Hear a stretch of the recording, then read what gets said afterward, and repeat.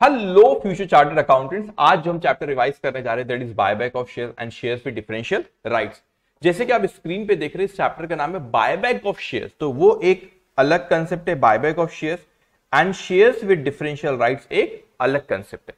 सो so, दोनों ही हम लोग अच्छे से समझेंगे। आपने अगर पहले बहुत अच्छे से कंसेप्ट आपको नहीं भी समझा होगा लेकिन आप एक बार ये चैप्टर वीडियो देखेंगे तो सारी की सारी चीज़ें आपको समझ में आ जाएगी। कंसेप्ट विथ सारे के सारे लॉजिक में आपको यहाँ पे बताऊँगा। और बहुत सिंपल चैप्टर है, बहुत ही सिंपल चैप्टर है। बस आपको मेरी बात बहुत ध्यान से सुनना, इसके बाद जो इंपॉर्टेंट क्वेश्चन भी हम लोग कवर करेंगे, उसमें उस तरीके के क्वेश्चन में कवर करता हूँ कि जिसमें चैप्टर के सारे के सारे एडजस्टमेंट रहते, वो आपके उन क्वेश्चन में कवर हो जाए। तो हम लोग पहले रिविजन शुरू करते हैं हमारे बायबैक ऑफ़ शेयर्स का। तो व्हाट इज़ दिस पहले बायबैक ऑफ़ शेयर फिर उसके बाद हम शेयर्स विद डिफरेंशियल राइट्स देखेंगे। तो what is this buyback of shares so buyback of shares is reversal of equity shares याद रखना भाई रिडेम्पशन ऑफ़ प्रेफरेंस शेयर्स कोई और चीज़ है। रिडेम्पशन ऑफ़ प्रेफरेंस शेयर्स कोई और चीज़ है। यहाँ पे रिडेम्पशन ऑफ़ प्रेफरेंस शेयर्स के बारे में बात नहीं कर रहे। मैं जब कहता हूँ बायबैक ऑफ़ शेयर्स मतलब कौन से शेयर्स के बारे में बात करें? हम लोग बात करें इक्विटी शेयर्स के बारे में बात करें। तो बायबैक का मतलब क्या होता है? बायबैक का मतलब रिवर्सल ऑफ़ इक्विटी शेयर जो शेयर आपने means purchase of its own equity share हम खुद के इक्विटी शेयर खरीद रहे हैं, उसको कैंसिल कर रहे हैं। तो ये रही मेरी बैलेंस शीट इस बैलेंस शीट में इक्विटी शेयर से प्रेफरेंस शेयर से लोन है क्रेडिटर है। तो इसमें मैं किसके कैंसिलेशन की बात कर रहा हूँ? मैं इक्विटी शेयर्स के कैंसिलेशन की बात कर रहा हूँ। इस चैप्टर में प्रेफरेंस शेयर्स की कैंसिलेशन की बात नहीं कर रहे, वो दूसरी चीज़ है रिडेम्पशन ऑफ़ प्रेफरेंस शेयर और redeemable preference share you know कि इंडिया में उसको विद इन ट्वेंटी ईयर्स हमको रिडीम करना होता है। हम लोग रिडेम्पशन ऑफ़ प्रेफरेंस की बात नहीं करें हम लोग किसके बारे में बात करें? हम लोग बात करें इक्विटी शेयर्स के बारे में। उसको हमें कैंसिल कर अब उसकी जनरल एंट्रीज क्या होती है क्या कंपनीज़ एक्ट की क्या प्रोविज़न है, वो हम लोग आगे भी बात करेंगे। लेकिन क्यों हम लोग बायबैक करते हैं, उसके रीजन है, क्यों हम लोग बायबैक करते हैं? हम लोग विद एग्जांपल देखते कि हम लोग बायबैक करते क्यों, अपने शेयर्स क्यों खरीद के उसको फिर कैंसिल करते तो क्यों ऐसे करते पहला रीजन कि अपने शेयर जो आप खरीदते that is increase EPS earning per share you know accounting standard 20 जो कि हम लोग रिवीजन सीरीज़ में आगे कवर भी करेंगे। तो अर्निंग पर शेयर ईपीएस जो होता है वो आपका बढ़ता है बायबैक करने से। सर, समझा नहीं कैसे? बायबैक करने से ईपीएस बढ़ता है। मैंने कहा कि पचास हज़ार शेयर थे। कितने शेयर थे? फिफ्टी थाउज़ेंड शेयर थे और फिफ्टी थाउज़ेंड शेयर में से मैंने टेन थाउज़ेंड शेयर को बायबैक किया। तो फिफ्टी थाउज़ेंड शेयर थे और टेन थाउज़ेंड शेयर को मैंने बायबैक किया। तो कितने शेयर हो गया मेरे बायबैक के बाद फोर्टी थाउज़ेंड तो मैंने कहा कि पहले प्रॉफिट था दो लाख रुपए नंबर ऑफ़ शेयर्स थे पचास हज़ार रुपए। तो कितना हो गया? फोर रुपीज़ कितना हो गया? EPS for profit divided by number of shares अब देखेंगे एस ट्वेंटी में profit which is attributable to equity share holder divided by number of share weighted average number of shares वहाँ पे अपन देखेंगे कैसे कैलकुलेट है लेकिन आप यहाँ पे देखो कि ये प्रॉफिट है और ये शेयर्स है। तो दो lakh divided by fifty thousand ये कितना आ रहा है? रुपीज़ फोर तो आपका ईपीएस चार रुपए। अब आपने बोले, नहीं, पचास हज़ार में से दस हज़ार शेयर बायबैक कर लिए। तो दस हज़ार शेयर मैंने बायबैक करा। तो भाई, मेरे शेयर्स कितने हो गए? पचास में से दस बायबैक कर तो फोर्टी थाउज़ेंड हो गए। तो दो लाख रुपए मेरा प्रॉफिट और ये चालीस हज़ार शेयर हो गए। तो two lakhs divided by five कर तो ईपीएस कितना आ रहा है? Two lakh divide by forty thousand sorry two lakh divide forty EPS कितना रहा है? फाइव तो ईपीएस जो मेरा पहले चार था, वो बढ़ के अब कितना हो गया? पाँच हो गया। ईपीएस जो पहले चार रुपए था वो बढ़ के पाँच हो गए तो ये भी एक रीजन होता है बायबैक करने का कि हमारा ईपीएस बढ़े मार्केट में उसकी वैल्यू बढ़ती है ईपीएस बढ़ने से शेयर की तो उससे हमारी कंपनी को बेनिफिट हो। दूसरा क्या रीजन होता है कि इंक्रीज प्रमोटर्स होल्डिंग अब प्रमोटर्स जो होते हैं कंपनी की, उनकी होल्डिंग भी बढ़ती है बायबैक करने से। चलो, उसको भी एक एग्ज़ाम्पल लेते और समझते मैंने कहा कि ये हमारी कंपनी की बैलेंस शीट है इक्विटी शेयर कैपिटल टेन है प्रेफरेंस शेयर कैपिटल फाइव है, और हमारे पास लोन कितना है? पाँच है। लोन कितना है? पाँच। तो मैंने कहा इक्विटी शेयर कैपिटल दस है प्रेफरेंस आपका यस प्रेफरेंस शेयर कैपिटल पाँच और लोन है पाँच तो टोटल बीस और ये एसेट बीस। अब ये जो दस आपका इक्विटी शेयर कैपिटल इसमें से प्रमोटर्स होल्ड करते हैं सिक्स और बाहर वाले होल्ड करते हैं चार तो टोटल सब उसे लैक्स है। तो सिक्स लैक्स प्रमोटर होल्ड करते हैं फोर लैक्स के शेयर कौन करते हैं? बाहर वाले। तो टोटल कितने का हुआ आपका इक्विटी शेयर कैपिटल दस का। तो अब यहाँ पे बायबैक के पहले बायबैक अभी नहीं हुआ बायबैक के पहले मैं कहता हूँ कि दस में से दस में से छह प्रमोटर्स ने होल्ड करा है। तो द, दस में से छह प्रमोटर ने होल्ड करके रखा है। तो कितने प्रतिशत हमारे प्रोमोटर्स ने होल्ड करा है? Sixty percent. सिंपल सी बात है। दस आपका इक्विटी शेयर कैपिटल टोटल उसमें से छह प्रमोटर्स ने होल्ड करके रखा है। तो कितना होल्ड करके रखा है? Sixty percent. अब मैंने कहा कि हम लोगों ने बायबैक करें। तो बायबैक बाहर वाले जो थे, उनमें, उनके चार में से हमने दो लाख के शेयर बायबैक करे। तो कितना हो गया? अब दस में से हमने छह होल्ड नहीं करके रखे। हम लोगों ने आठ में से छह होल्ड करके रखे। आप बोले, सर, कैसी बात करो? हाँ मैंने कहा टोटल दस था। चार बाहर वालों के थे, चार में से दो हमने बायबैक कर लिए। चार में से दो बायबैक कर लिए। तो बाहर वालों के अब कितने बचे? दो ही बचे ना। तो उनके दो, हमारे छह। तो टोटल कितना हो गया? आठ।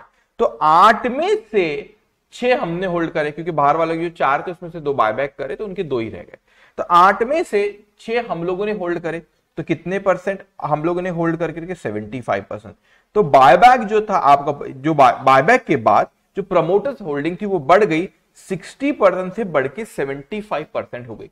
तो बायबैक करने का एक रीजन ये भी होता है कि प्रमोटर्स की होल्डिंग बढ़ जाती है। ईपीएस अर्निंग पर शेयर क्या होता है? बढ़ जाता है। अब उसके बाद तीसरा reason to support the share price and stock exchange the share price less than its worth मुझे लगता है कि मार्केट में जो शेयर की कीमत है, वो इसके वर्थ से कम है।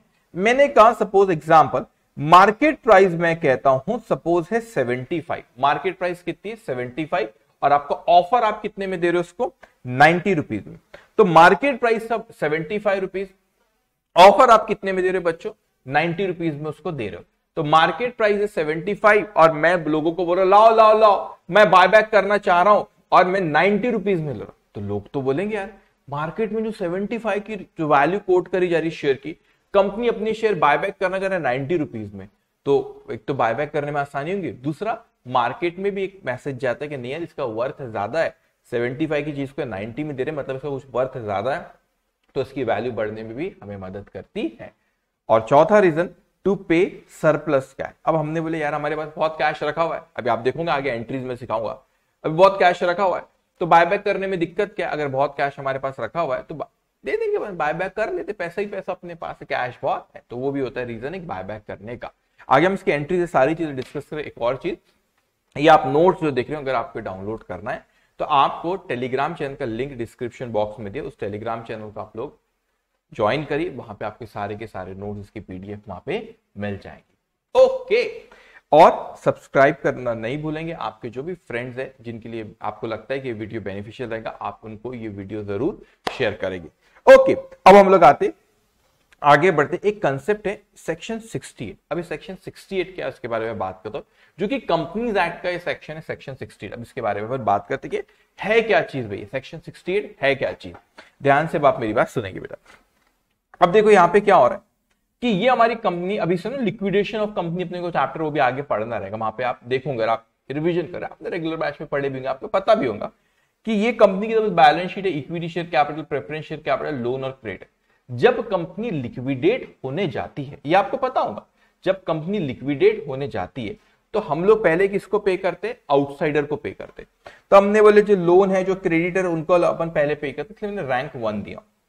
उसके बाद preference share capital, preference share holder को दूँगा, उसके बाद इक्विटी शेयर होल्डर को दूँगा। और आपको पता है इक्विटी शेयर होल्डर को सबसे बाद में देते प्रेफरेंस शेयर होल्डर का मीनिंग ये होता है, क्योंकि दो चीज़ में प्रेफरेंस दिए जाते हैं, उनको डिविडेंड पहले दिया जाता है इक्विटी के, और जब कंपनी वाइंड अप होती है तो पहले इक्विटी के, पहले उनको पैसा ऐसा नहीं कि बाहर वालों को पहले देते इक्विटी के पहले देते उनको। ओके तो सबसे पहले बाहर वालों को, फिर प्रेफरेंस शेयर होल्डर को, और उसके बाद इक्विटी शेयर होल्डर को अपन पैसा देगी। अब ध्यान से मेरी बात समझेगी तो अब हम लोग कर रहे हैं बाय बैक तो ये इक्विटी शेयर कैपिटल है। मैं बाय बैक कर रहा हूँ। तो मैं तो इनको पहले पैसा दे रहा हूँ तो इक्विटी शेयर कैपिटल सपोज़ मेरा यहाँ पे दस लाख है रिज़र्व एंड सरप्लस में तीस है। तो मैंने कहा कि चलो इसमें जो कुछ बायबैक करते, कुछ इक्विटी शेयर अपन अपन खरीदते, अपने खुद के, और उसको कैंसिल करेंगे। तो दो तरीका होता है, मैं आपको सिखाऊँगा issue of share other than equity equity buyback करे तो जो आप फ्रेश शेयर ऑफ़ इश्यू करते हो अदर देन इक्विटी मैं बताता हूँ क्या चीज़ है। एंड आउट ऑफ़ प्रॉफिट ये दोनों एक्सप्लेन करूँगा भी लेकिन आप यहाँ ध्यान दो कि ये जो है आपके आउटसाइडर जिनसे आपने लोन लिया और जो क्रेडिटर है, वो रोने लगे। ये रहे, वो रोने लगे। मैंने कहा, क्या हुआ भाई? रो क्यों रहे? वो खून के आँसू रो रहे। वो रो रहे कि हमारे साथ गलत हुआ। मैंने कहा, क्या गलत हो मुझे बताओ तो। बोले, सर, कल तो कंपनी लिक्विडेट हो गई। कल तो कंपनी लिक्विडेट हो गई। अगर कल कंपनी लिक्विडेट हो जाती, सर तो मैंने क्या प्रॉब्लम? तो सर, हमको पहले पैसा देना चाहिए। मतलब बात तो कही, सही है। तो कहीं कंपनी ऐसा तो नहीं कर रही कि शेयर्स को बायबैक कर रही है। और कल तो बोलेंगे, कंपनी अब हम लिक्विडेट हो गए, अब हमको कंपनी लिक्विडेट करना है। और जब पैसे देने की बारी आएँगी तो वो बोलेंगे कि नहीं है हमारे पास पैसा, हमारे पास पैसा नहीं है। तो हमारे पास पैसा नहीं है तो बोल सकते ना तो फिर हमको सबसे पहले पैसा देना चाहिए था। तो कंपनी चालाकी करके ये ना कर दे कि बायबैक करके पहले जिनको थर्ड रैंक पे देना तो उनको पहले पैसा दे दे और कल लिक्विडेट करे और बोले कि पैसा नहीं बल्कि पैसा हमको पहले मिलना चाहिए था। तो बात तो उनकी सही थी। तो सडनली वहाँ पे आता है सुपरमैन और वो कहता है कि सेक्शन 68 हूँ मैं। मेरा नाम है सेक्शन 68 और मैं आपके प्रोटेक्शन के लिए आया हूँ। मैं आपको बचाऊँगा कि आपके साथ कोई इनजस्टिस ना हो और मैं आपको बचाऊँगा, वो कहता है सेक्शन 68 तो भाई, ये वाला जो पॉइंट है स्क्रीन पे, आपको ये वाला जो पॉइंट दिख रहा है रिज़र्व आंसर उस पर मैं आऊँगा, लेकिन कोई और कंसेप्ट कुछ बताना, मैं इस पोर्शन पे आऊँगा भी। लेकिन सेक्शन 68 है क्या? उसका लॉजिक समझते कैसे सेक्शन 68 प्रोटेक्शन कर रहा है उन बाहर वालों की, जिनसे पहले हम जिनसे पहले हम अभी बायबैक के वक्त इक्विटी को पैसा दे दे रहे ऑब्वियसली इक्विटी बायबैक करो उनको पैसा देंगे। लेकिन उनका यह ऑब्जेक्शन है बाहर वालों का, कल तो कंपनी बंद हो गई। तो आप ये ना कहना कि हमारे पास पैसा नहीं और हमसे पहले आपने इक्विटी शेयर होल्डर को चालाकी से दे दिए और अब बायबैक कर ली और आप बोलते हो कि हमारे पास पैसा नहीं है, कल तो लिक्विडेट हुई और बोलेंगे पैसा नहीं है। और जिनको बाद में पैसा देना था, आपने चालाकी से उनको पहले दे दिए इक्विटी शेयर होल्डर को और हमको पैसा नहीं मिलेगा, ऐसा ना हो। तो उनके प्रोटेक्शन के लिए पिक्चर में भी एंट्री हुई किसकी? सुपरमैन, जिसका नाम है सेक्शन सिक्सटी अब सेक्शन ये पोर्शन पे मैं आऊँगा अभी थोड़ी देर में, ओके? सेक्शन 68 आपसे कहता, क्या है उसको ध्यान से बाप मेरी बात सुनेगी? तो सेक्शन 68 कहते हैं कि आप दो तरीके से बायबैक कर सकते हो। कितने तरीके से बायबैक कर सकते हो? दो तरीके से आप बायबैक कर सकते हो। एक तरीके out of fresh issue of share तो मैं बायबैक कर सकता हूँ out of fresh issue of share और एक है मेरा बायबैक कर सकता हूँ out of profit so what is this out of fresh issue of share और what is this out of profit ध्यान से समझना। तो मैंने कहा कि जब मैं बायबैक करने जा रहा हूँ तो मैंने कहा कि मार्केट में मैं fresh issue of shares market में कोई और इशू करता हूँ और उसके, उस पर फिर मेरा पैसा आएगा और फिर मैं बायबैक कर लेता हूँ शेयर्स तो यहाँ पे मैंने एंट्री सपोज़ मैंने यहाँ पे पहले शेयर जब इश्यू किया। ध्यान से समझ तो मैंने एंट्री पास किया bank account debit to preference share capital account क्या एंट्री पास किया मैंने? Bank account debit to preferential capital market में प्रेफरेंशियल इशू किया सपोज़ दो लाख रुपए के। अब मैंने शेयर्स अपने इक्विटी शेयर को बायबैक किया तो डिक्रीज इन कैपिटल होता है, इसके एंट्रीज में भी आगे बताऊँगा, लेकिन एक सिंगल एंट्री शॉर्ट में यहाँ पे बताया। Equity share capital account debit to bank account मतलब दो लाख रुपए के मैंने मार्केट में प्रेफरेंशियस इशू किया। फेस वैल्यू दो लाख अभी प्रीमियम पे भी हो सकता है, आगे एंट्रीज डिटेल में बताऊँगा। अभी कंसेप्ट पे फोकस करना। तो मैंने वहाँ पे शेयर्स इशू किया मार्केट में दो लाख रुपए की फेस वैल्यू सपोज़ तो मैंने एंट्री पास किया bank account debit to preferential capital वो एंट्री मैंने पास करा। अब उसके बाद मैंने मार्केट से शेयर्स को बाय बैक किया, अपने इक्विटी शेयर तो मेरे इक्विटी शेयर कैपिटल कम हुई we all know the decrease in capital credit तो equity share capital account debit to bank account तो एक तरीका है कि मैं मार्केट में फ्रेश इश्यू ऑफ़ शेयर्स कर रहा हूँ और अपने शेयर्स को फिर क्या कर रहा हूँ, मैं इक्विटी शेयर को बाय बैक कर रहा हूँ। ठीक है? अब सेक्शन 68 कहता है। अब जो मैं वर्डिंग्स ऐसा, उसने ये नहीं बोला, जो मैं वर्डिंग्स आपको बोल रहा हूँ लेकिन आपको सिंप्लीफाई करने मैंने वर्डिंग थोड़ी सी चेंज करके बोल रहा हूँ। चेंज करके मतलब सिंपल लैंग्वेज में बोल रहा हूँ मैं आपको। और आपको बहुत आसानी होंगी उससे अब मैं क्या बोल रहा हूँ, उसको बहुत ध्यान से सुना। कैपिटल का रिप्लेसमेंट कैपिटल से होगा। क्या कहा मैंने? कैपिटल का रिप्लेसमेंट कैपिटल से होगा। इसका मतलब सेक्शन 68 कहता है कि आपका जो कैपिटल है बच्चों, ये प्रेफरेंस जो भी कैपिटल आपका, जितने से बढ़ रहा है, उतने से ही कैपिटल कम होना चाहिए। मैंने कहा कि मेरा प्रेफरेंस शेयर कैपिटल दो लाख रुपए से बड़ा तो मेरा शेयर कैपिटल फिर प्रेफरेंस कोई प्रॉब्लम नहीं। शेयर कैपिटल दो लाख से बड़ा, लेकिन मैंने यहाँ पे शेयर कैपिटल दो लाख से कम हुआ। तो ये मेरा इंक्रीज इन कैपिटल हुआ। ये क्या हुआ बच्चों? इंक्रीज इन कैपिटल हुआ। और ये क्या हुआ बेटा? मेरा डिक्रीज इन कैपिटल तो दो लाख से कैपिटल बढ़ा और दो लाख से कैपिटल कम हुआ। तो जितने से कैपिटल बढ़ा उतने से कैपिटल क्या हुआ बच्चों? कम हुआ मेरा। तो जितने से कैपिटल बढ़ा उतने से कैपिटल क्या हुआ बेटा यहाँ पे? कम हुआ। ओके अब ध्यान से बाप मेरी बात सुनिए। तो एक होता है out of fresh issue of share तो अपने मर्ज़ी से मत कह देना कोई भी क्वेश्चन में कि out of fresh issue of share जब आपको क्वेश्चन में उसने बोला कि फ्रेश इश्यू ऑफ़ शेयर थे तो ही मानना। अदरवाइज़ वो second option out of profit है तो अभी एक्सप्लेन करूँगा। तो कैपिटल का रिप्लेसमेंट कैपिटल होना। तो यहाँ पे जितने से कैपिटल वो अलग है कि प्रेफरेंस बढ़ रहा है इक्विटी कम हो रहा है। It's okay okay. लेकिन जितने से कैपिटल बढ़ा, उतने से कैपिटल कम होना चाहिए हुआ। दूसरा, अब कंपनी को बोले कि चलो चलो चलो, यहाँ पर आप शेयर इशू करो, कंपनी वाले हम नहीं शेयर इशू करने देखो तो ज़बरदस्ती है। तो आप दूसरा ऑप्शन होता है आउट ऑफ़ प्रॉफिट मैं आउट ऑफ़ प्रॉफिट पे एक मिनट आता हूँ, लेकिन उसके पहले आप एक चीज़ ख्याल रखना बेटा। हम लोग गलत इसको इंटरप्रेट करते हैं कि हमारा, देखो सेक्शन 68 को कोई लेना देना नहीं, कि आप फंडिंग कहाँ से ला रहे पैसा आप कहाँ से ला रहे हो और बायबैक के वक्त उसकी रिस्ट्रिक्शन नहीं है। वो नहीं कह रहा है। वो कहता है कि कैपिटल का रिप्लेसमेंट कैपिटल होना, ये वर्डिंग्स मेरे ध्यान से रखा कैपिटल का रिप्लेसमेंट कैपिटल से होना चाहिए मतलब जितने से कैपिटल कम हुआ, उतने से ही कैपिटल बढ़ना चाहिए। तो सेक्शन 68 कहते हैं कि कैपिटल का रिप्लेसमेंट कैपिटल होना कैपिटल का रिप्लेसमेंट कैपिटल होना चाहिए आपका। वो सेक्शन 68 आपको कहता है। तो सेक्शन 68 कहते हैं, वो कह रहा है। वो ये नहीं बोल रहा कि आप पैसा कैसे दे रहे हो उसको। तो गल, बच्चे कई बार गलत इंटरप्रेट मैं ना सिक्योरिटी प्रीमियम बारे में आपको सिखाऊँगा। पैसे से कोई मतलब नहीं पैसा आप कहाँ से दे कैपिटल का रिप्लेसमेंट कैपिटल होना चाहिए वो बोलता है ठीक है? अब सिक्योरिटी प्रीमियम वाले तो वहाँ पे पॉइंट को और और डिस्कस करेंगे। अब मैंने कहा कि एक ऑप्शन है out of issue of share दूसरा ऑप्शन हमको सेक्शन सिक्सटी बोलता है कि you can buy back of equity share can be done out of profit अब आउट ऑफ़ प्रॉफिट का मतलब ये होता है बेटा कि वो हमसे कहता है कि जब भी आप बायबैक करते हो और अगर आप out of fresh issue shares नहीं कर रहे हो तो वो कहता है, आपके फ्री रिज़र्व जो भी आप शेयर्स बायबैक कर रहे हो सपोज़ एक मैंने ऑप्शन बोला आपको कि पूरा का पूरा बायबैक आप out of fresh of shares करो। ये एक ऑप्शन होगा दूसरा ऑप्शन इट में भी कॉम्बिनेशन ऑफ़ बोथ उस पर भी अपन बात करेंगे।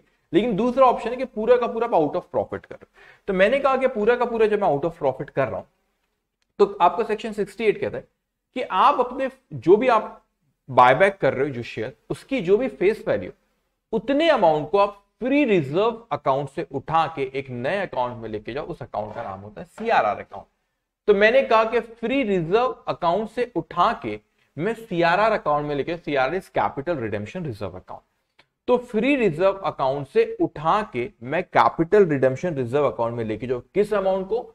जो शेयर्स बायबैक कर रहे हो, उसकी फेस वैल्यू ठीक है? अब ऐसा मान के चलो कि आप बायबैक आउट ऑफ़ प्रॉफिट करो। It may be combination of both out of fresh issue of share and out of profit उसके बारे में बात करेंगे पर बाद में भी थोड़ी देर में। लेकिन अभी मैं कह रहा हूँ कि मैं कर रहा हूँ आउट ऑफ़ प्रॉफिट तो जो भी शेयर बायबैक करो उसकी फेस वैल्यू को जितनी भी होंगी, उतने को मैं फ्री रिज़र्व अकाउंट से उठा के मैं कहाँ पे लेकर चल जाऊँगा? सीआरआर अकाउंट में। तो फ्री रिज़र्व अकाउंट से उठा के मैं कहाँ पे लेकर चल जाऊँगा बेटा? सीआरआर अकाउंट पे लेके चला जाऊँगा। अब देखो यहाँ पे हुआ क्या बच्चों? अब देखो यहाँ पे हुआ क्या? अब क्या हो रहा है यहाँ पे? कि फ्री रिज़र्व का मतलब क्या? वैसे तो फ्री रिज़र्व का मतलब ये कहा जाता है कि जो भी जो भी डिस्ट्रीब्यूटेबल मतलब जो आप रिज़र्व को that can be utilise for the purpose of dividend that is free reserve और जो generally P N L account के थ्रू वो जनरेट होता है लाइक जनरल रिज़र्व है ना? प्रॉफिट एंड लॉस अकाउंट का surplus balance that is free reserve लेकिन सिर्फ़ इसी चैप्टर में जब भी मैं फ्री रिज़र्व वर्ड यूज़ करूँगा तो आपने ख्याल रखना कंपनी एक्ट में कहा हुआ है कि जब भी मैं इस चैप्टर में फ्री रिज़र्व वर्ड यूज़ किया तो that is including security premium ये बाकी चैप्टर्स में मैं ऐसी बात नहीं कहूँगा। नहीं तो आप कहोगे, मगर सिर्फ़ इस चैप्टर में बायबैक के पर्पस के लिए free reserve including security premium companies act ये कहता है। तो मैंने कहा कि फ्री रिज़र्व को you can utilise to transfer to CRR account the face value of equity share जो आप बायबैक कर रहे हो, वो फ्री रिज़र्व को यूटिलाइज कर सकते हो टू ट्रांसफ़र टू सीआरआर मगर free reserve including what security premium ये ओके सो इसका मतलब सर अब इसका लॉजिक क्यों था? क्यों सीआरआर अकाउंट में लेके जाते हो? लॉजिक में मैं दो मिनट बाद में आऊँगा। लेकिन इसका मतलब ये हो रहा है सर कि ये जब मैं फ्री रिज़र्व यहाँ पे डेबिट करो रिज़र्व के क्रेडिट बैलेंस होते हैं, आप उसको यूटिलाइज कर रहे हो तो आपको क्या करना है? उसको डेबिट करना है। तो डिक्रीज इन रिज़र्व डेबिट हो रहा है तो free reserve account debit to CRR ठीक है? लेकिन फ्री रिज़र्व कौन से? आप पीएनएल अकाउंट का कोई सरप्लस बैलेंस आपके पास है बैलेंस शीट में दिखेगा रिज़र्व एंड सरप्लस आप उसको यूटिलाइज कर सकते हो। आपके पास अगर जनरल रिज़र्व में बैलेंस है फ्री रिज़र्व उसको यूटिलाइज कर सकते हो। आप यहाँ पे सिक्योरिटी प्रीमियम अकाउंट भी डेबिट कर सकते हो। मगर मैंने ये ऑब्ज़र्व किया इंस्टीट्यूट ने अपने कर सकते हैं। इंस्टीट्यूट ने अपने सजेस्टेड में एक हाथ जगह ही आज तक, हर क्वेश्चन में जब देखता है एग्जामिनेशन का इंस्टीट्यूट के मटेरियल को एनालाइज करते तो हमेशा इंस्टीट्यूट सिक्योरिटी प्रीमियम को एक ही जगह मैंने देखा, एक सजेस्ट अटेम्प्ट मुझे ख्याल नहीं है। उस अटेम्प्ट में उन लोगों ने सिक्योरिटी प्रीमियम यहाँ पे जब फ्री रिज़र्व आप रहता है ना, यहाँ पे सिक्योरिटी प्रीमियम भी डेबिट कर सकते इस चैप्टर में। मगर इंस्टीट्यूट ने उसको कब यहाँ पे सिक्योरिटी प्रीमियम को डेबिट करती है? जब ही, जब उसके पास दूसरे फ्री रिज़र्व अवेलेबल नहीं है, जब। तो हमने भी यहाँ पे जब सीआरआर में ट्रांसफ़र करेंगे, हम लोग यहाँ पे सिक्योरिटी प्रीमियम अवॉइड करेंगे यूटिलाइज करना। जब भी हम उसको यूटिलाइज करेंगे, जब क्वेश्चन में कोई और रास्ता नहीं बचा हुआ कोई और रास्ता बचा हुआ नहीं मतलब फ्री रिज़र्व पीएल का सरप्लस बैलेंस जनरल रिज़र्व में बैलेंस हमारा रखा हुआ नहीं है, उसी जगह पे अपन यहाँ पे सिक्योरिटी प्रीमियम को डेबिट करेंगे। अदरवाइज़ हमेशा जो नॉर्मल हमारे फ्री रिज़र्व रहते उन्हीं को यहाँ पे डेबिट करना रहेगा। तो आपने एंट्री पास करे free reserve account debit to CRR account क्या एंट्री पास करें? Free reserve account debit free reserve account debit to CRR account हम लोगों ने ये एंट्री पास करे। अब ध्यान से अब आप मेरी बात सुनेंगे अब यहाँ पे आपने बायबैक करे तो आपका कैपिटल क्या हुआ? कम। तो आपने एंट्री पास करे। इक्विटी शेयर आपकी क्या हुआ? आपका कैपिटल हुआ कम। तो equity share capital account debit to bank account आपका कैपिटल हुआ कम। तो डिक्रीज इन कैपिटल क्या होगा? Debit so equity share capital account debit to bank account आपका डिक्रीज इन कैपिटल डेबिट कर तो आपने बायबैक कर तो कैपिटल हुआ आपका कम। अब आपने ऑब्जेक्शन रेज कर आप कह नहीं नहीं सर यहाँ तो गलत बात होगी। मैंने कहा, क्या गलत बात होगी? कैसी गलत बात हुई? समझाओ मुझे। आप कहने लगे, सर, ये हमको समझ में आ रहा है, यहाँ पे ये कैपिटल आपने इक्विटी शेयर कैपिटल को डेबिट करे। तो डिक्रीज इन कैपिटल हुआ, एकदम सही बात है कि डिक्रीज इन कैपिटल हुआ। सो डिक्रीज इन कैपिटल हमारा हुआ यहाँ पे। लेकिन सर एक ऑब्जेक्शन आपने कहे थे कि कैपिटल का रिप्लेसमेंट कैपिटल होना चाहिए। तो मैंने कहा ज़रूर था कि कैपिटल का रिप्लेसमेंट कैपिटल होना चाहिए। लेकिन यहाँ पे तो नया कैपिटल नज़र नहीं आ रहा। जैसे यहाँ पे प्रेफरेंस शेयर कैपिटल आपने इश्यू किए थे प्रेफरेंस शेयर तो आपका कैपिटल इतने से बड़ा था। लेकिन यहाँ पे तो नया इश्यू यहाँ पर तो आपका नया क्या हो रहा है? यहाँ पर तो नया इश्यू प्रेफरेंशियल या कैपिटल आ रहा था। लेकिन यहाँ पे तो नया कैपिटल नहीं आ रहा है, सर। आपने तो बस कंपनीज़ एक्ट ने कहा है कि फ्री रिज़र्व को यूटिलाइज कर लो सीआरआर अकाउंट में ट्रांसफ़र करो। लेकिन नया कैपिटल तो कोई नहीं आ रहा। एकदम सही बात है यहाँ पे कैपिटल का रिप्लेसमेंट कैपिटल हो रहा है, लेकिन यहाँ पे कैपिटल का रिप्लेसमेंट कैपिटल फ़िलहाल अभी नहीं हो रहा। फ़िलहाल अभी नहीं हो रहा। लेकिन आप सबको बताएँगे ये रिवीजन लेक्चर्स आप देख रहे हैं चीज़ें आपको पहले भी पता होंगी कि सीआरआर मात्र एक ही जगह पे यूटिलाइज होता है, और वो जगह for the purpose of bonus share तो बोनस शेयर्स की जगह पर ही वो आपने ग्रुप वन में भी पढ़े, उसको अकाउंटिंग में। कि bonus share bonus and right issue chapter में कि सीआरआर अकाउंट एक ही जगह यूटिलाइज होता है that is for the purpose of bonus share अब मैंने कहा कि बोनस शेयर्स के लिए वो यूटिलाइज करा जाएगा। तो मैंने कहा, आज ये सीआरआर अकाउंट कोई कैपिटल में कन्वर्ट नहीं हुआ कैपिटल नहीं हुआ। तो आज कैपिटल का रिप्लेसमेंट कैपिटल नहीं है।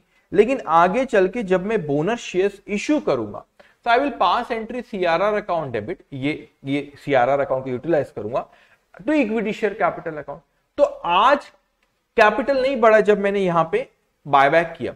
लेकिन मैंने एक अकाउंट क्रिएट करा, उस अकाउंट का नाम है सीआरआर जो कि फ्यूचर में जाके सीआरआर यूटिलाइज होगा only for the purpose of bonus share तो जब मेरा इक्विटी शेयर कैपिटल बढ़ जाएगा तो जब मेरा इंक्रीज इन कैपिटल होगा तो यहाँ पे ये डिक्रीज इन कैपिटल ये अभी हो रहा है। लेकिन इंक्रीज इन कैपिटल फ्यूचर में होगा ही होगा, क्योंकि सीआरआर सिर्फ़ एक ही जगह यूज़ हो सकता है for the purpose of bonus share तो आज मेरा डिक्रीज इन कैपिटल हुआ, आगे चल के इंक्रीज इन कैपिटल ज़रूर होगा, क्योंकि आपने सीआरआर क्रिएट करे और वो बोनस शेयर के लिए यूटिलाइज होगा।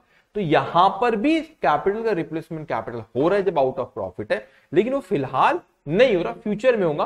फ़िलहाल आपने एक अकाउंट क्रिएट कर, उस अकाउंट का नाम है सीआरआर अकाउंट तो जब आप बायबैक कर सकते हो that may be out of profit and that may be out of fresh issue of share so out of profit हो सकता है और out of fresh issue of share हो सकता है सो so, एग्जामिनेशन में हम कैसा माने कि किससे है सर तो आप क्वेश्चन में जब आपको बोला आउट ऑफ़ शेयर जितना बोला उतना ही आउट ऑफ़ शेयर आपको मानना है sometime it may be combination of both out of profit and out of fresh issue of share तो आपने देखना कि आउट ऑफ़ शेयर कितना है उतना आउट ऑफ़ शेयर हुआ और बचा हुआ सारा का सारा आउट ऑफ़ प्रॉफिट हुआ बेटा। याद रखना, जब भी जर्नल एंट्रीज पास करेंगे, अभी अभी एंट्रीज में मैं डिस्कस करूँगा, जब हम लोग क्वेश्चन भी सॉल्व करेंगे, आप चीज़, इस चीज़ को ख्याल रखना कि जब भी आप एंट्री पास करते बस आपने देखना कैपिटल का रिप्लेसमेंट कैपिटल हो रहा है क्या।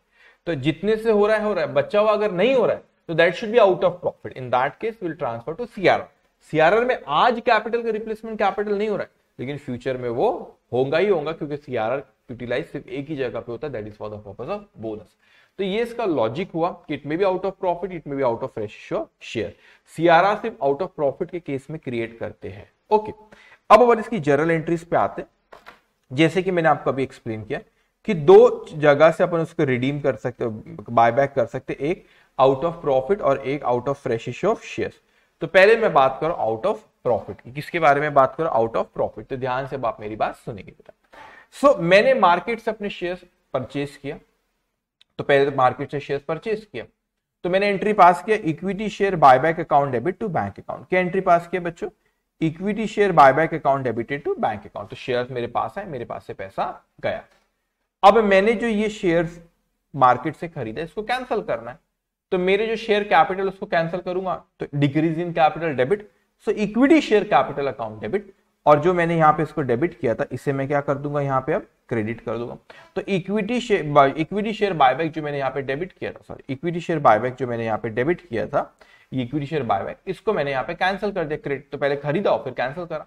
तो अल्टीमेटरी एंट्री क्या बात हुई? Equity share capital account debit to bank account okay अब अगर आपने वो शेयर बायबैक मार्केट से जो कर रहे हो, वो आपने प्रीमियम पे खरीदे।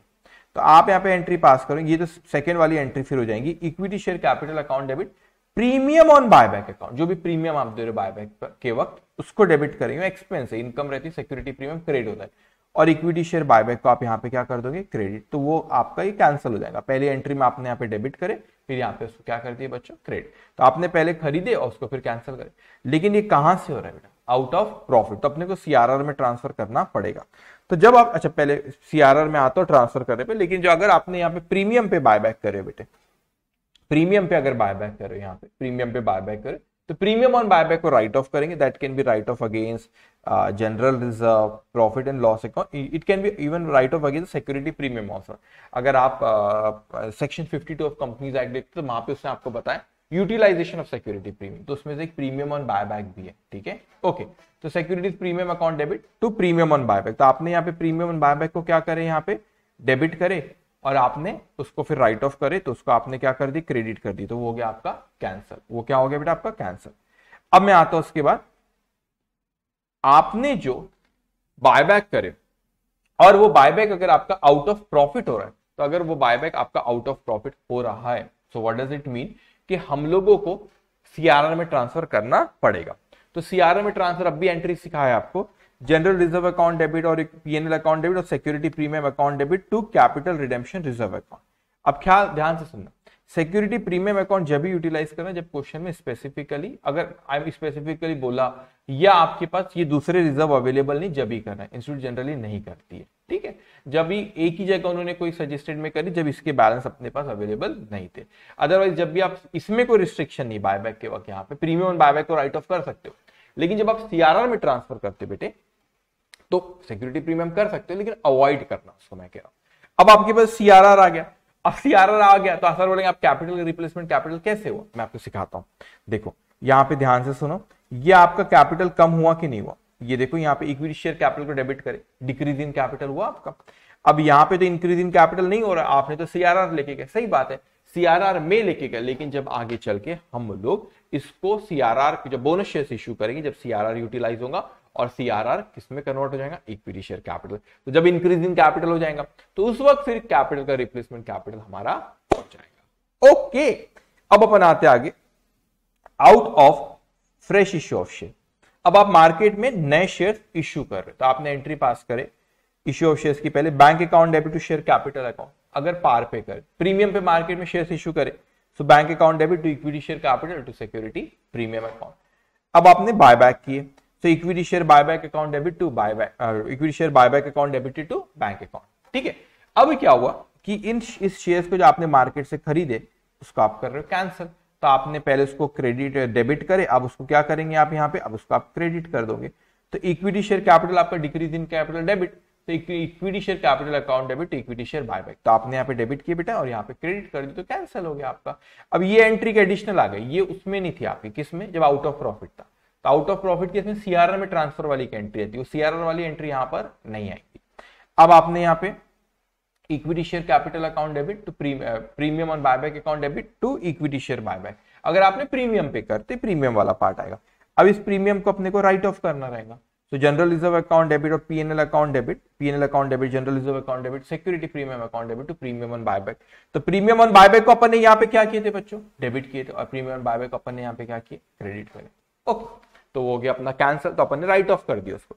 अब अपने को यहाँ पे सीआरआर में ट्रांसफ़र मत करने कहते हैं बोले, सर, क्यों नहीं बोलना? क्योंकि ये आउट ऑफ़ प्रॉफिट नहीं है। ये क्या है अपना? ये out of fresh issue of share है।